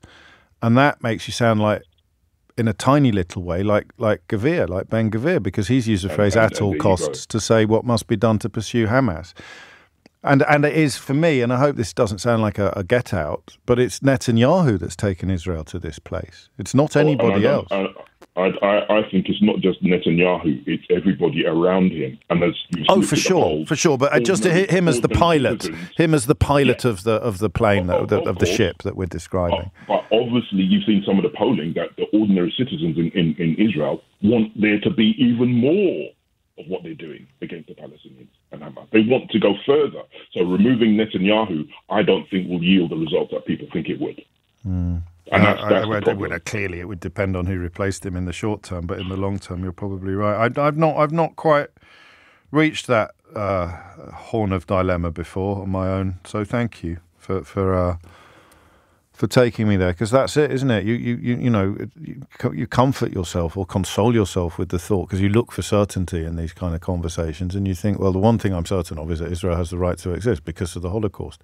But does that mean that eventually you end up defending or supporting whatever Benjamin Netanyahu's government does. And, and logically, it, it would. And yet, I'm not comfortable with that part of the equation. On a lighter note, as. Yes, sir. My, my friend Scott is listening to this program in, in his t shirt factory in Uxbridge, his t shirt shop in Uxbridge, and he said that your voice is so deep, you're making the card machine vibrate on the glass counter.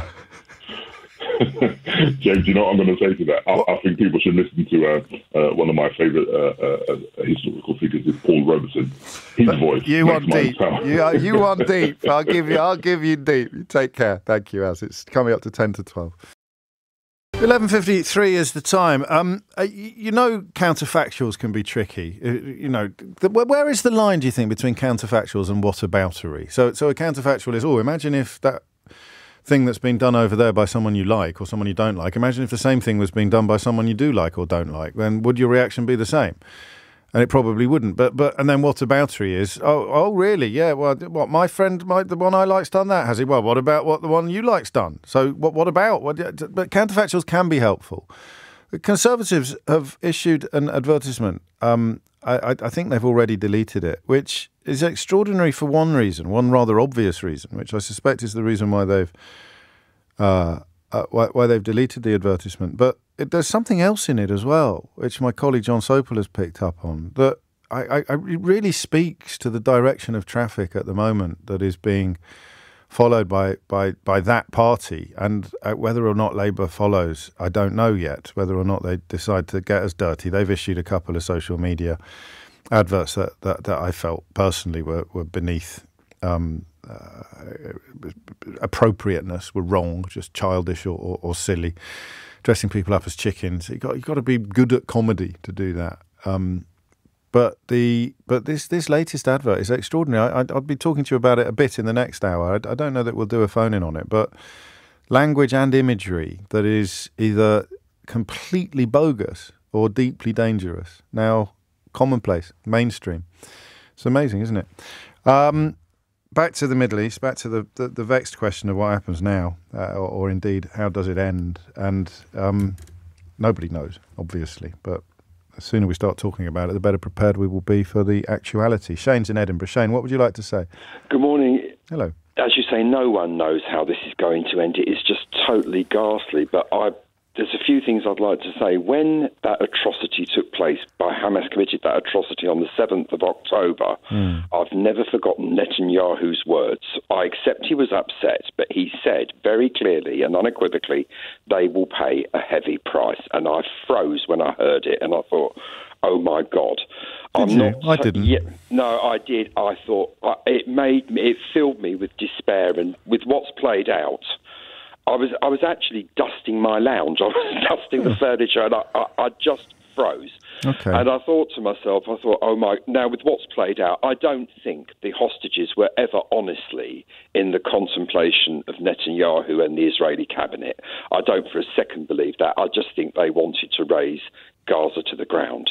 And it, it, I agree with you. It is impossible to put Hamas out of business, and even the military wing of Hamas, I don't think, can be put out of business. And this not not, go... not not in this way. No, I, mean, in this way. Exactly. We put the IRA out of business. Yes, uh, but not the. But you don't put Hamas out mostly. of business just by saying there's there's this network of tunnels all over Gaza, and we're okay. going to bomb it to smithereens. But now that America has taken the stance that it has, and that the, the, the Israel is now isolated politically on this. I think it's about time we had an honest debate about American aid going to Israel and it basically the United States bankrolls Israel. We need to look at a totally different solution in the Middle East.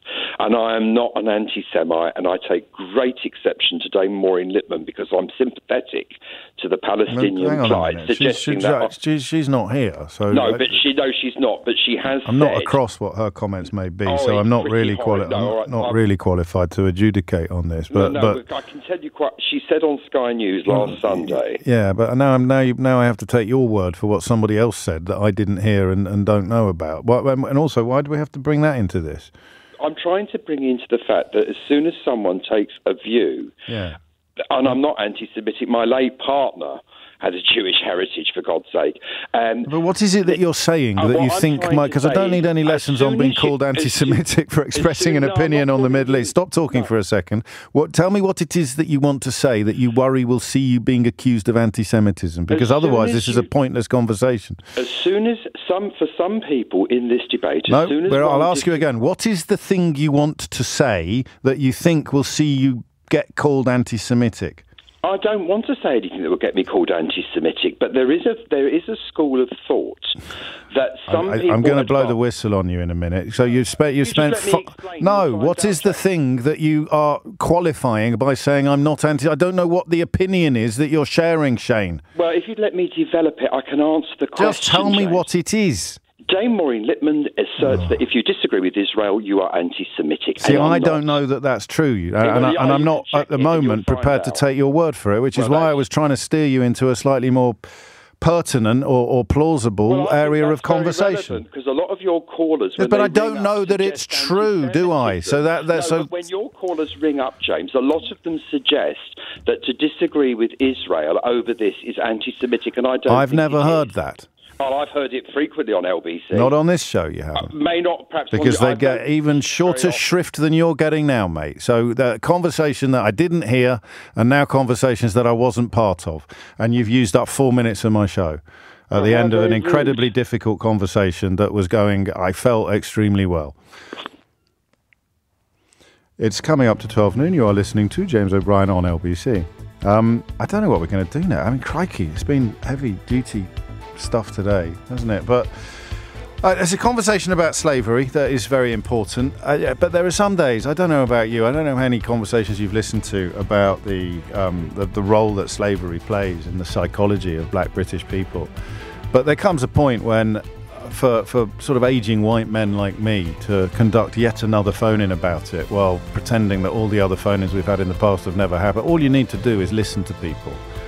Listen to people in the same way that I can talk about the role of Israel, the right of Israel to exist being intrinsically linked to the Holocaust. So you can talk about the black experience in modern Britain having intrinsic links back to slavery, can't you? Surely. Three minutes after 12 is the time. So uh, here's what's happening behind the curtain. There's a conversation or a story that follows on from yesterday's report by, by Sara Khan into harassment and, and intimidation and an attempt to make the. I always think, you know, whenever I hear a Tory talking about this, I think back to some of the stuff that Nadine Dorries tweeted and wrote about me. And I, I, I worry that perhaps they're not desperately sincere about uh, attempts to stop the harassment of, of people in either private or public life. Uh, absolutely extraordinary, libelous allegations made against a humble radio presenter by a very senior at the time politician, um, now reduced to writing in the Daily Mail about how men find her sexually attractive. I, I, you think I'm joking? Seriously, just don't. If you do, don't buy it. Just take my word for it. And yet, the, the Tory Party trying to dress itself at the moment in the clothes of the of the guardians of of good manners and um, and fair treatment. But the story I couldn't quite get my head around was um, one in four people saying that they've faced life altering intimidation. I have no idea what that means, which is part of the problem. And the second uh, element of confusion I have with that story is what what, what life altering. I, I get the number. So what does life? What does it mean? You someone said something to you that was so horrible you've never forgotten it, or does it mean that you've moved house? Life altering intimidation. So we may dig a little deeper into that in the coming days. But as you can probably tell, I need to come to a slightly better understanding of, of, of what is going on. 27% of people um, surveyed 27% said that they had experienced life altering harassment with consequences, ah, I'm right, ranging from quitting social media to losing their job or, or moving house. So 27% of people have, have had life altering consequences. How many of them have moved house? And how many of them have come off Twitter? I am not for a minute suggesting that it's not annoying to have to come off Twitter, but the headline life altering intimidation. And I'm almost certain that many, many people who've come off Twitter have had considerably less intimidation on Twitter than I've had. So, you know, one man's life altering is another man's idiot's corner, isn't it? So I, I, don't know that that headline is particularly helpful. But this one is Majority of Britons support a formal apology for slave trade. Now, bizarrely, although possibly not bizarrely, given that I could pull on the. Uh, manage to bring the conversation about farmers protesting and Brexit into a conversation about Benjamin Netanyahu, the United Nations, and Israel. And, and the, the abiding theme, the uniting theme, was that the question of how could you not see what was going to happen applies equally to both scenarios. Um, to people who were initially supportive of Netanyahu and now sit um, by frustrated as he hemorrhages support from pretty much the entire world. And similarly, farmers who voted for Brexit, despite having it explained to them in relatively straightforward terms what was likely to happen if it was achieved. So, what, how could you not see what was happening? I can actually bring this conversation about slavery. Uh, I can make it relevant to the conversation that we had in the last hour because I used to do this thing. And if you're relatively new to the program, I, I, you, you may find this a little hard to believe. Although I was certainly a bit more short tempered than usual with, with, with, our friend Shane in Edinburgh at the end of the last hour. So you may find it a little bit easier to believe than you, than you might otherwise have done. Um, I used to do phone ins about the Holocaust, or, or, or, we would perhaps be marking Holocaust Memorial Day. And I think to my shame, I would be impatient with people who rang in to remind me of the slave trade. And the reason why I would be impatient was because in my mind, one memory was much fresher than the other. And that, of course, is a, a, a in, in a sense, perhaps for a for a, for an English educated white Brit, that is an almost chronological and historical inevitability. Uh, you know, we were taught a lot about the Holocaust in school. Most of us were certainly taught about the Second World War in general and the, and the Holocaust in particular.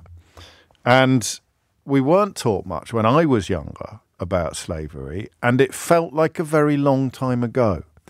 I mean, technically, there was only a hundred. If you take sort of the beginning of the 19th century, I think slavery was abolished in the UK officially in 1807. So if you if you take this is the turn of the the turn of the 19th century, you're looking at less than 150 years, really, between a slave trade, a British slave trade, and and the Holocaust. So if you're looking if you're looking at history from a from in a in a millennial term, as we will do in in two, three, four hundred years time, they were practically next door to each other. And yet, whenever I was doing phone-ins about um, about the. I'm only. I'm giggling. Christine just texted to say, "Don't worry, James. Shane deserved it," and it just it just distracted me slightly from the moment. I fully appreciate this is not gigglesome territory that we're exploring at the moment. There'll be plenty of people who think he didn't, Christine, but thank you. Um, so I would conduct the conversation, and someone would ring in and say, well, sometimes a little bit, perhaps insensitively. So somebody might say, "Why do we always talk about the Holocaust in this country and we never talk about the slave trade?" And I would be very impatient with them, much more impatient than I just was with old Shane in Edinburgh. And I, and and, the re- and I don't know why. Looking back, I would be impatient. I think in my own mind, it felt as if it was a much longer period of time ago I don't think I've got any kind of residual uh, uh, guilt. I've never understood why anybody is either rejecting or required to feel guilt about something that people from the same family or the same country did hundreds of years ago. I'm, so I'm pretty sure that wasn't part of it. Um, and I, I, I suspect some of it was just prickliness on my part if I'm having a conversation about Nottingham Forest and someone rings in and wants to talk about Millwall, I'll be like, well, who do you think you are coming on my show? But that's that's a me problem. That's not a you problem. So something else happened when, when, when we were doing this, and I think I know what it was. I think I reached, shall we say, my mid 30s as a, as a well educated Englishman, and by Englishman, I, I simply mean I attended exclusively English schools. Very religious schools as well, remarkably. Um, Catholic in my case, if you're interested, with a view of slavery that might have been up there with the Romans and the ancient Greeks. I, I'm embarrassed to tell you this, but I am a victim, not a victim, I am a product of the education system that I went through. I hadn't any concept of slavery as relevant to modernity if, if I, at the very least, I would have had it filed under done and dusted. I know that racism existed, but racism was a very separate phenomenon from slavery. I would perhaps have argued if you'd pushed me to explain myself. And if you'd rung into a conversation about the Holocaust to talk about another Holocaust called slavery, called specifically perhaps the British slave trade, I would have encouraged you to move along because we're not doing that today. And, you know, come on, have a bit of respect. And I can't quite believe how wrong that was looking back, not just because of the dates, but also because of the obvious resonance. And I hear now, you know, as a as an aging white Englishman, I could sit here now and say, "Why should we have to apologise for a slave? I didn't have any slaves. I didn't have any slaves in Kidderminster. Why should I have to? My ancestors in, in County Wexford didn't have any slaves. They might have been sold as slaves. And there comes a point, doesn't there, where you realise that some people ask these questions and never actually listen to the answers. Some people, I presume it's a form of racism, some people find the idea of a formal apology for the slave trade offensive and obnoxious because they think it would be a version of what Enoch Powell described when he described the black man having the whip hand over the white. I'm not apologising to no black person. They'll never say that out loud, especially the middle class ones. But that's what this is about. I'm not going to apologise for something that was white on black exploitation. I'm not going to apologise. Our society should not apologise to its black members for the way their ancestors were exploited by our ancestors. I ain't apologising to no black person. I'm white. That's all. It, that's all I hear now. It's taken 20 years for me to get to this point, but that's all I hear now. Why should we apologise to, to, to black people for slavery? Well, the, the answer is bloody obvious if you take the time to listen. And there comes a point where you've asked that so many, that question so many times, and you've heard so many answers that you can only conclude there is a very, very deliberate refusal to listen to any of them. So, what I want to do today, we've done before and we'll do again, but we haven't done it as often as we should have done. And um, we will recognise the modern reality. It's an Irish businessman, actually. He's, he's, he's no relation, I don't think, called Dennis, Dennis O'Brien. It'd be nice if he was because he's worth a bit. And he has undertaken a, a, a poll released today on the UN International Day of Remembrance of the Victims of Slavery and the Transatlantic Slave Trade, which should be revered and respected and marked with just as much solemnity and just as much seriousness as, for example, Holocaust Memorial Day. But it isn't, is it? I've only found this story in one newspaper today. But the survey has found that 56% of people polled said that an apology from the government itself would be welcome. 51% said an apology should come from organisations and companies which historically profited. 38% said an apology should come from the royal family. Now, there's some historical ignorance there. Because if you want an apology from anyone, it would be the royal family that you started with. I, I, think it was it was Charles II's brother James, wasn't it? Um, who who basically started it, not single handedly. He had a lot of help, but um, the idea that there would be there'd probably be no royal family these days without the slave trade, let alone Britain in its current form. But Dennis O'Brien puts it brilliantly. He's the founder of the Repair Campaign. And he says it's hugely encouraging to see the scale of support in the UK for an apology. The government and monarchy can no longer afford to ignore calls for reparatory justice. The UK's extraordinary wealth was generated from free labour, free lands, and the highly profitable proceeds of slavery. So Dennis O'Brien is, is, is, a white fella, so he sees it as I see it, as a sort of historical, objective injustice. But if you were black, you're only going back a what 200 years? 230 years? 250 years? We have families in this country who enjoy epic inherited wealth exclusively because their families their forebears came over with William the Conqueror they can trace their families back to the Doomsday Book and they're very proud of it. And yet, you tell black people in Britain that tracing their families back 250 or 300 years to, to the slave ships of the East India Company is something that they need to get over or stop carrying a chip on their shoulder. So I genuinely find it extraordinary. And of all the things we discussed together, I think this is the one. This is one of the ones I feel more strongly about as the years pass and the more that we talk about it. Partly because I hear people say, "Well, why should we apologise? Why should we apologise?" And it's racism. It's just racism. It is a white person saying, "Why the hell should I, as a white person, apologise to this black person? I never had any slaves." It's it's it's ugly and it's crass and it's racist.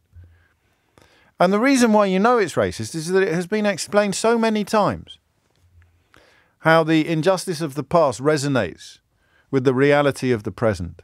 How the simple knowledge, you know, when you study history, when you when you look at a an ancient artifact, when you visit a museum and, and you imagine for a moment yourself in that area, you imagine yourself in a toga in a Roman bath, or you imagine yourself building a wattle and daub hut, or you imagine yourself on, a, on, on the Mary Rose, or you put yourself in that historical context. As a, as a white person, you're almost always going to be in a position of power. You wouldn't have been. It, it's why I always laugh at reincarnation. Everyone who gets reincarnated used to be Joan of Arc or Julius Caesar or Napoleon. No one was ever a bog washer or a, or a you know, I don't know, a, a floor sweeper or a glass collector in a in an East End pub. Everyone was everyone was always somebody like really. I've been I reincarnated. I was Genghis Khan in a previous. Are you sure you were Genghis Khan and not Bob Khan, the bottle the bottle collector? so uh, we always imagine ourselves in positions of, of, of power. But if you were black, looking back upon the 18th, the 17th century, and you were black British, who the hell do you imagine yourself to be? So I think we'll do it again. I think we will do it again. And as Paige points out, the Holocaust lasted, uh, I, mean, four years, uh, according to Paige, I, I, five, and the slave trade lasted for 400. So, and, and I will go straight to Idiot's Corner. This is Stork. Genuine question. Do you think the black people whose ancestors ran the slave trade will apologise for enslaving their own people? I, if you can find them, Stork, you can ask them. But the point about this project is that we know exactly who we're talking about. We know exactly which institutions profited enormously from slavery. A lot of them are still in existence. In the same way that in Germany, we know exactly which institutions and companies profited enormously from the Nazi regime because they're still in existence. If, if you want to go to Africa, Stork, and have a look for the descendants of the people that you think might have been responsible for selling their own uh, countrymen and women into slavery, then you can have that. You can launch that project, mate, if you think it's really important.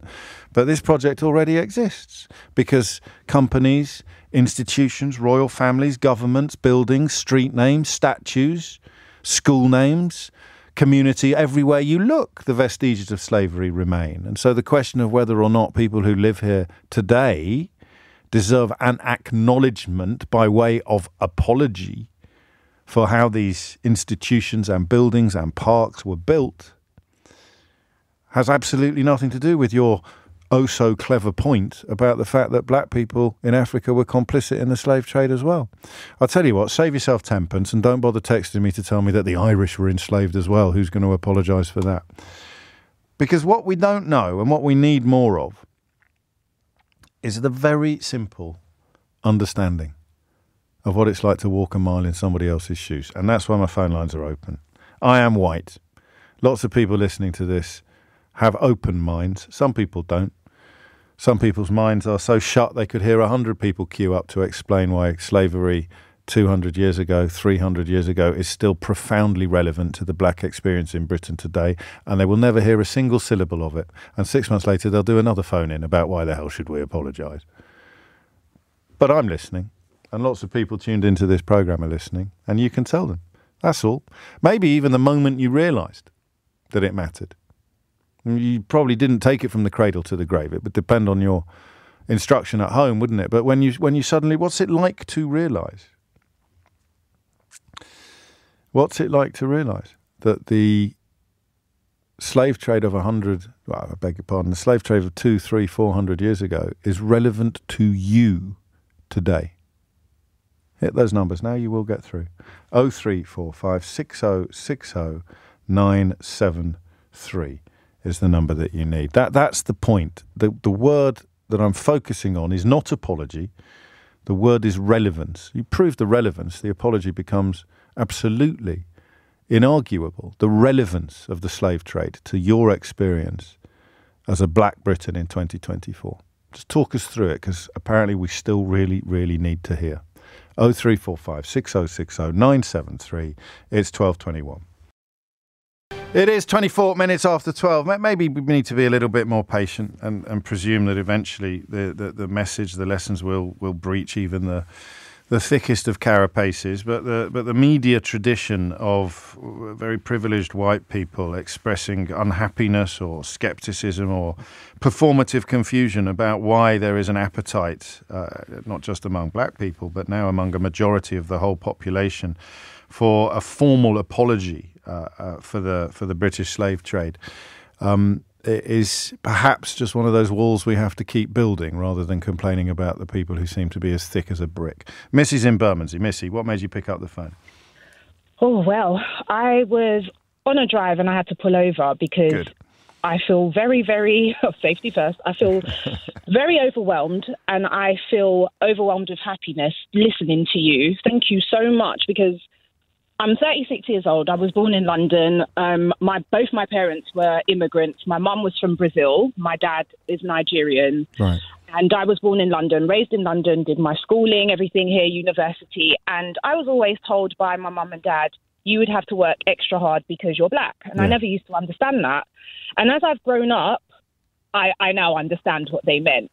I mean, even things like, you know, Missy is my nickname. I was given a very quote unquote English name. Yeah. And um, my last name is an English name. And I learned later on that that through slavery as okay. to why I have the the surname that I have. Yeah. Um, and I was. It was the name of your ancestor's owner. Um, apparently, it's Beckley. Okay. Yeah. Um, you know, even my partner and um, he has the last name Kennedy, and you know things like that. And we're black people. And I was also told, you know, the reason why I was given that name is because it would boost my job opportunities. Because um, when people would read foreign names on CVs, they sort of would throw them in the bin.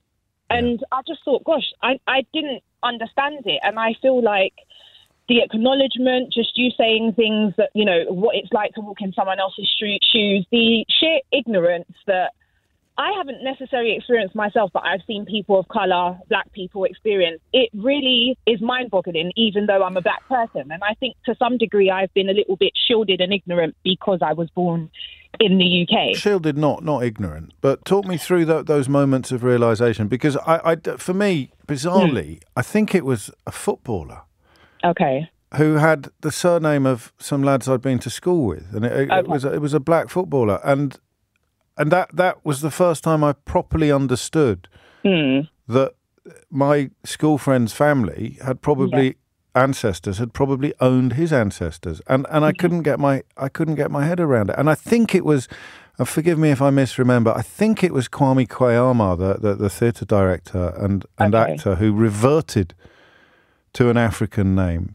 Right. And that okay. and that just as a as an observer mm-hmm. of this, the idea that the name you carry in the 20th and the 21st century is a nod towards the people that owned your ancestors, I found almost impossible to process. So God knows what it was like when when that penny dropped for you. Yeah, I was always very proud of my last name. And I think there was a couple moments. I'll just give you two quick ones. Mm. One was, I think I was on a school trip and we went to Canterbury in secondary school.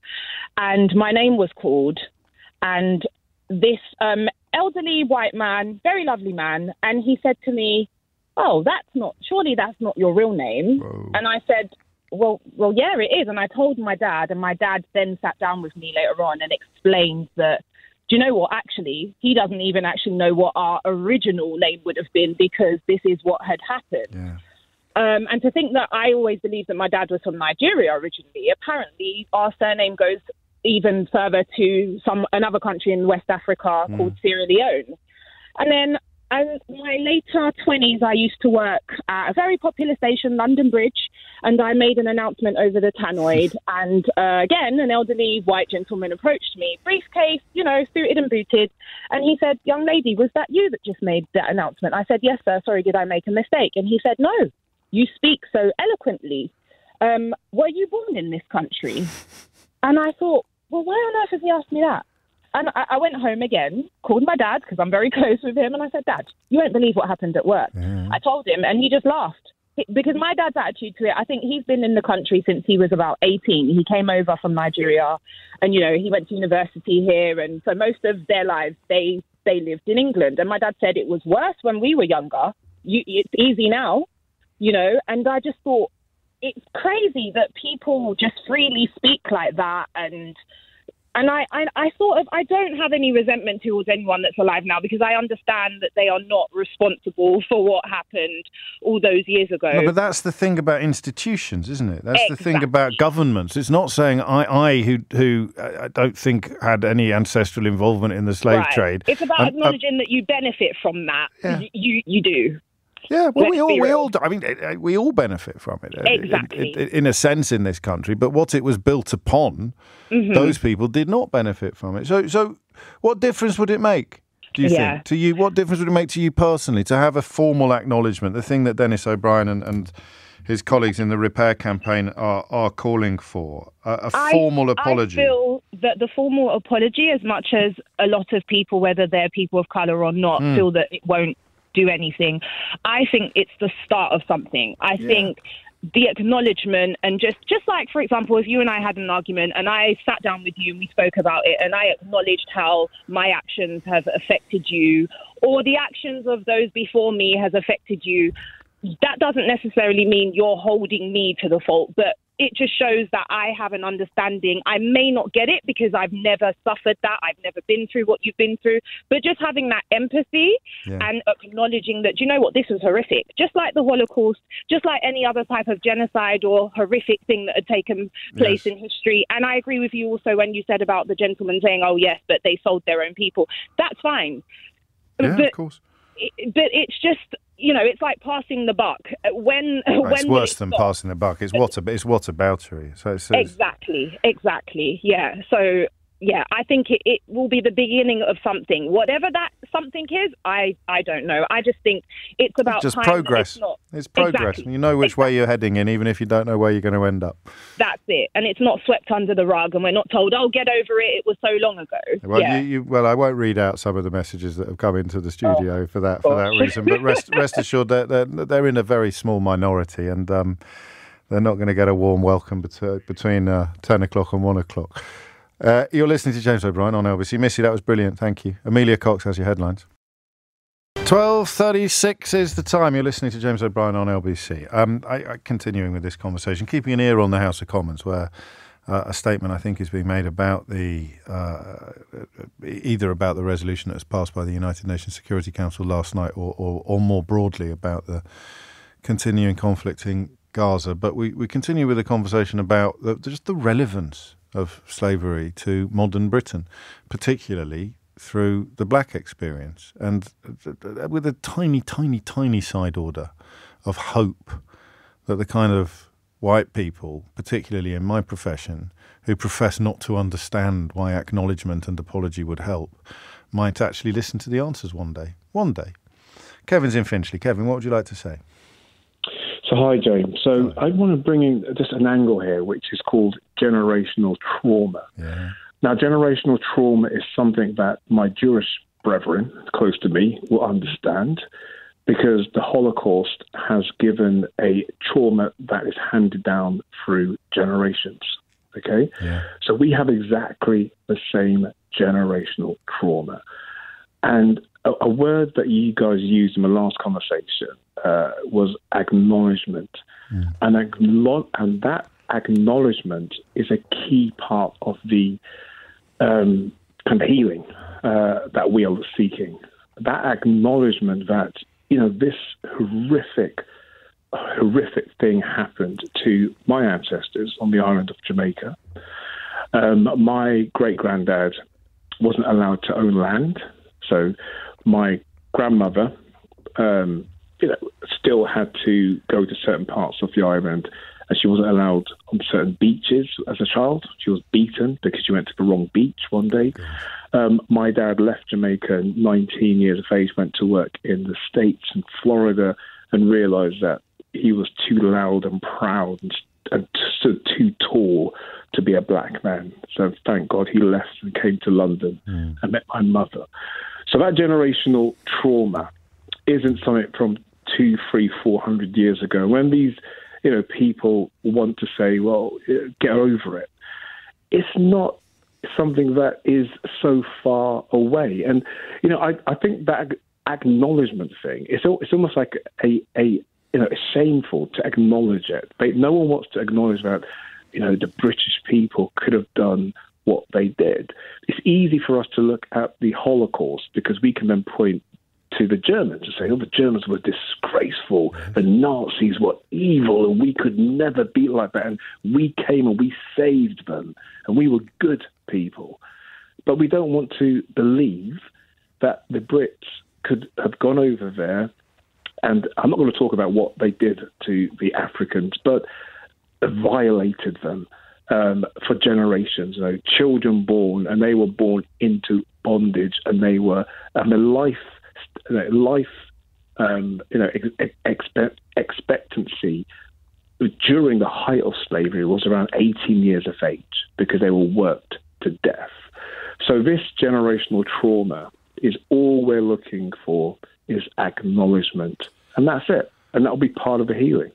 and because well, not not just acknowledgement of the of the trade itself, as you've so perfectly explained, but acknowledgement of the legacy that reaches right into 2024. I, I, and, and that actually is a point perhaps I've not properly grasped before, because sometimes these conversations are conducted, particularly from the, oh, get over it, stroke, why should I apologise school of thought. For, for, the record, nobody's saying you personally should apologise. This is about institutional apology for institutional racist exploitation. But the idea that it was all over in 1807, well, we abolished slavery in 1807. What are you complaining about? But you never would have had segregation in, in America. You never would have had segregation on beaches in Jamaica. You never would have had any of the uh, uh, the, the, microaggressions that, that, that exist today uh, without the backdrop, without the without the, the spawning ground of slavery.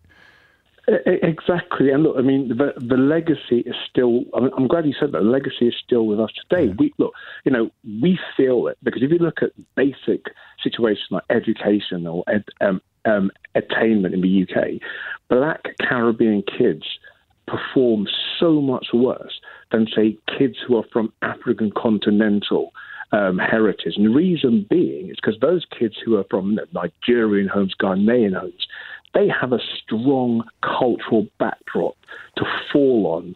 The kids from Jamaican families and you know, Barbados and Americas, we are still culturally lost. We don't know our language. We might, might have a Scottish surname.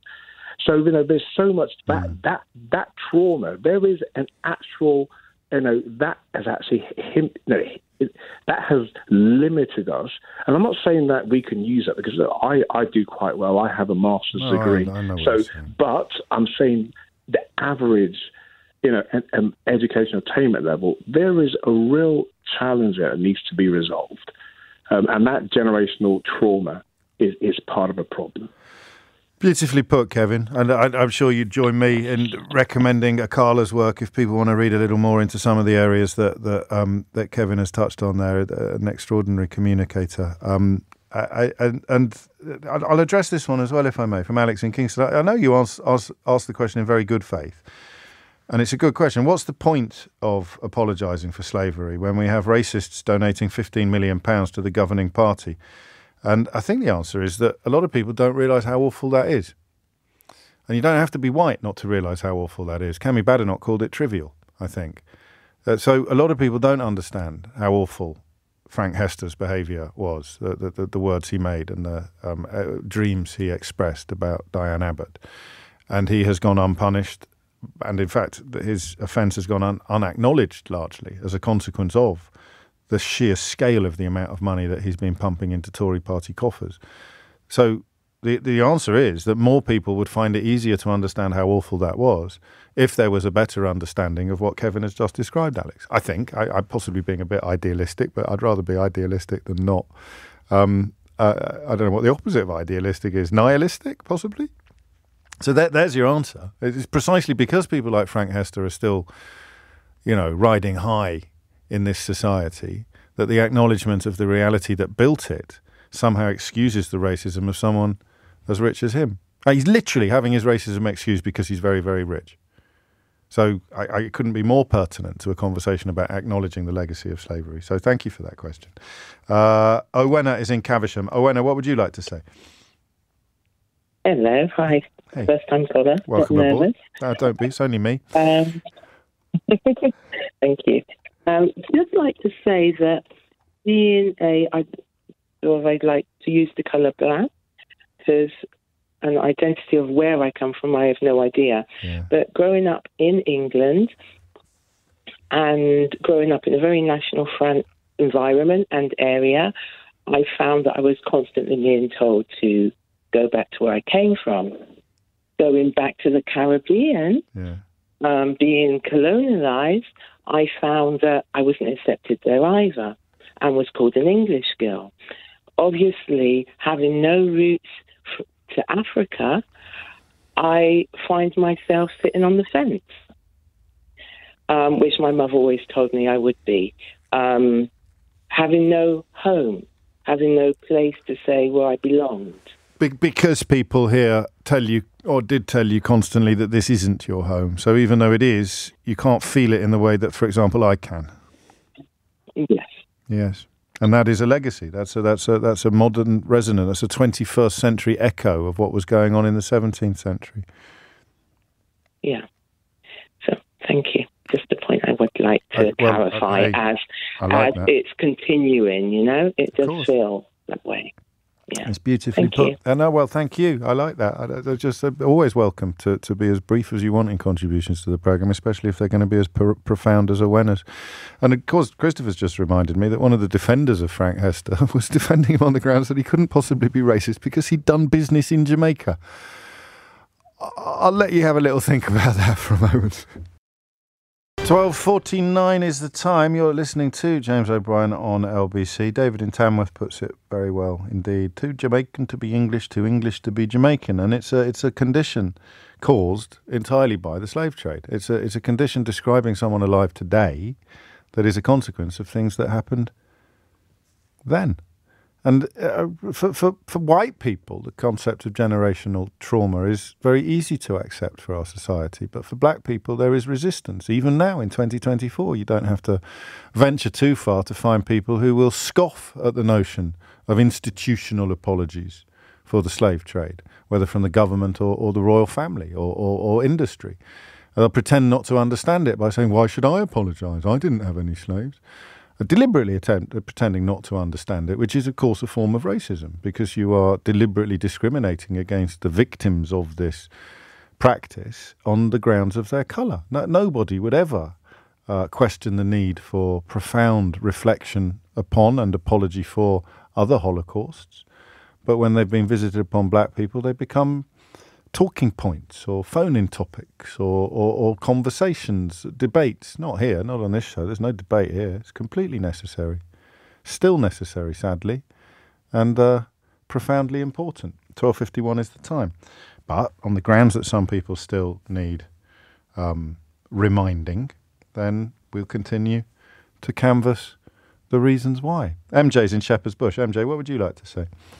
Hey, James. I Hello. think, first of all, I talk about how I am a young black man with Australian, um, partially Aboriginal, and Jamaican heritage. And for both of those cultures, for me, they are incredibly out of reach to ever feel connected with or mm.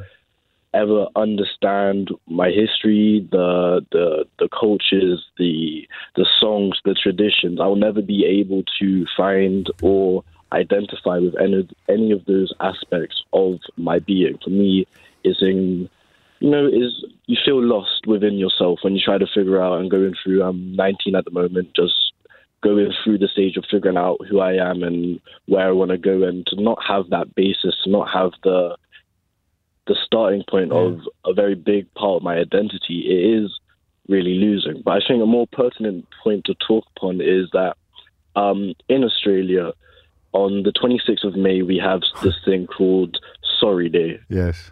Which is the attempt of a national apology to apologize for the brutal murder, uh, disenfranchisement, displacement of millions of people from their home every year to come out and say, I'm sorry for all of you done. But what really is an apology without action yes. other than words and just to make ourselves look better, you know. Well, I, I, I, I don't. I'm not going to argue with you because your your point is ir- irrefutable. But I can perhaps answer a question that was intended to be rhetorical, and and that is that I think the subtext of what you're saying is that uh, exploitation, discrimination of of Aboriginal people in Australia remains rife, and and therefore what use are all these sorries? But do you not think that if we think of things as incremental rather than immediate, people stop and think about it? You know, for every Yahoo there is screaming racial abuse from their Twitter account or a street corner,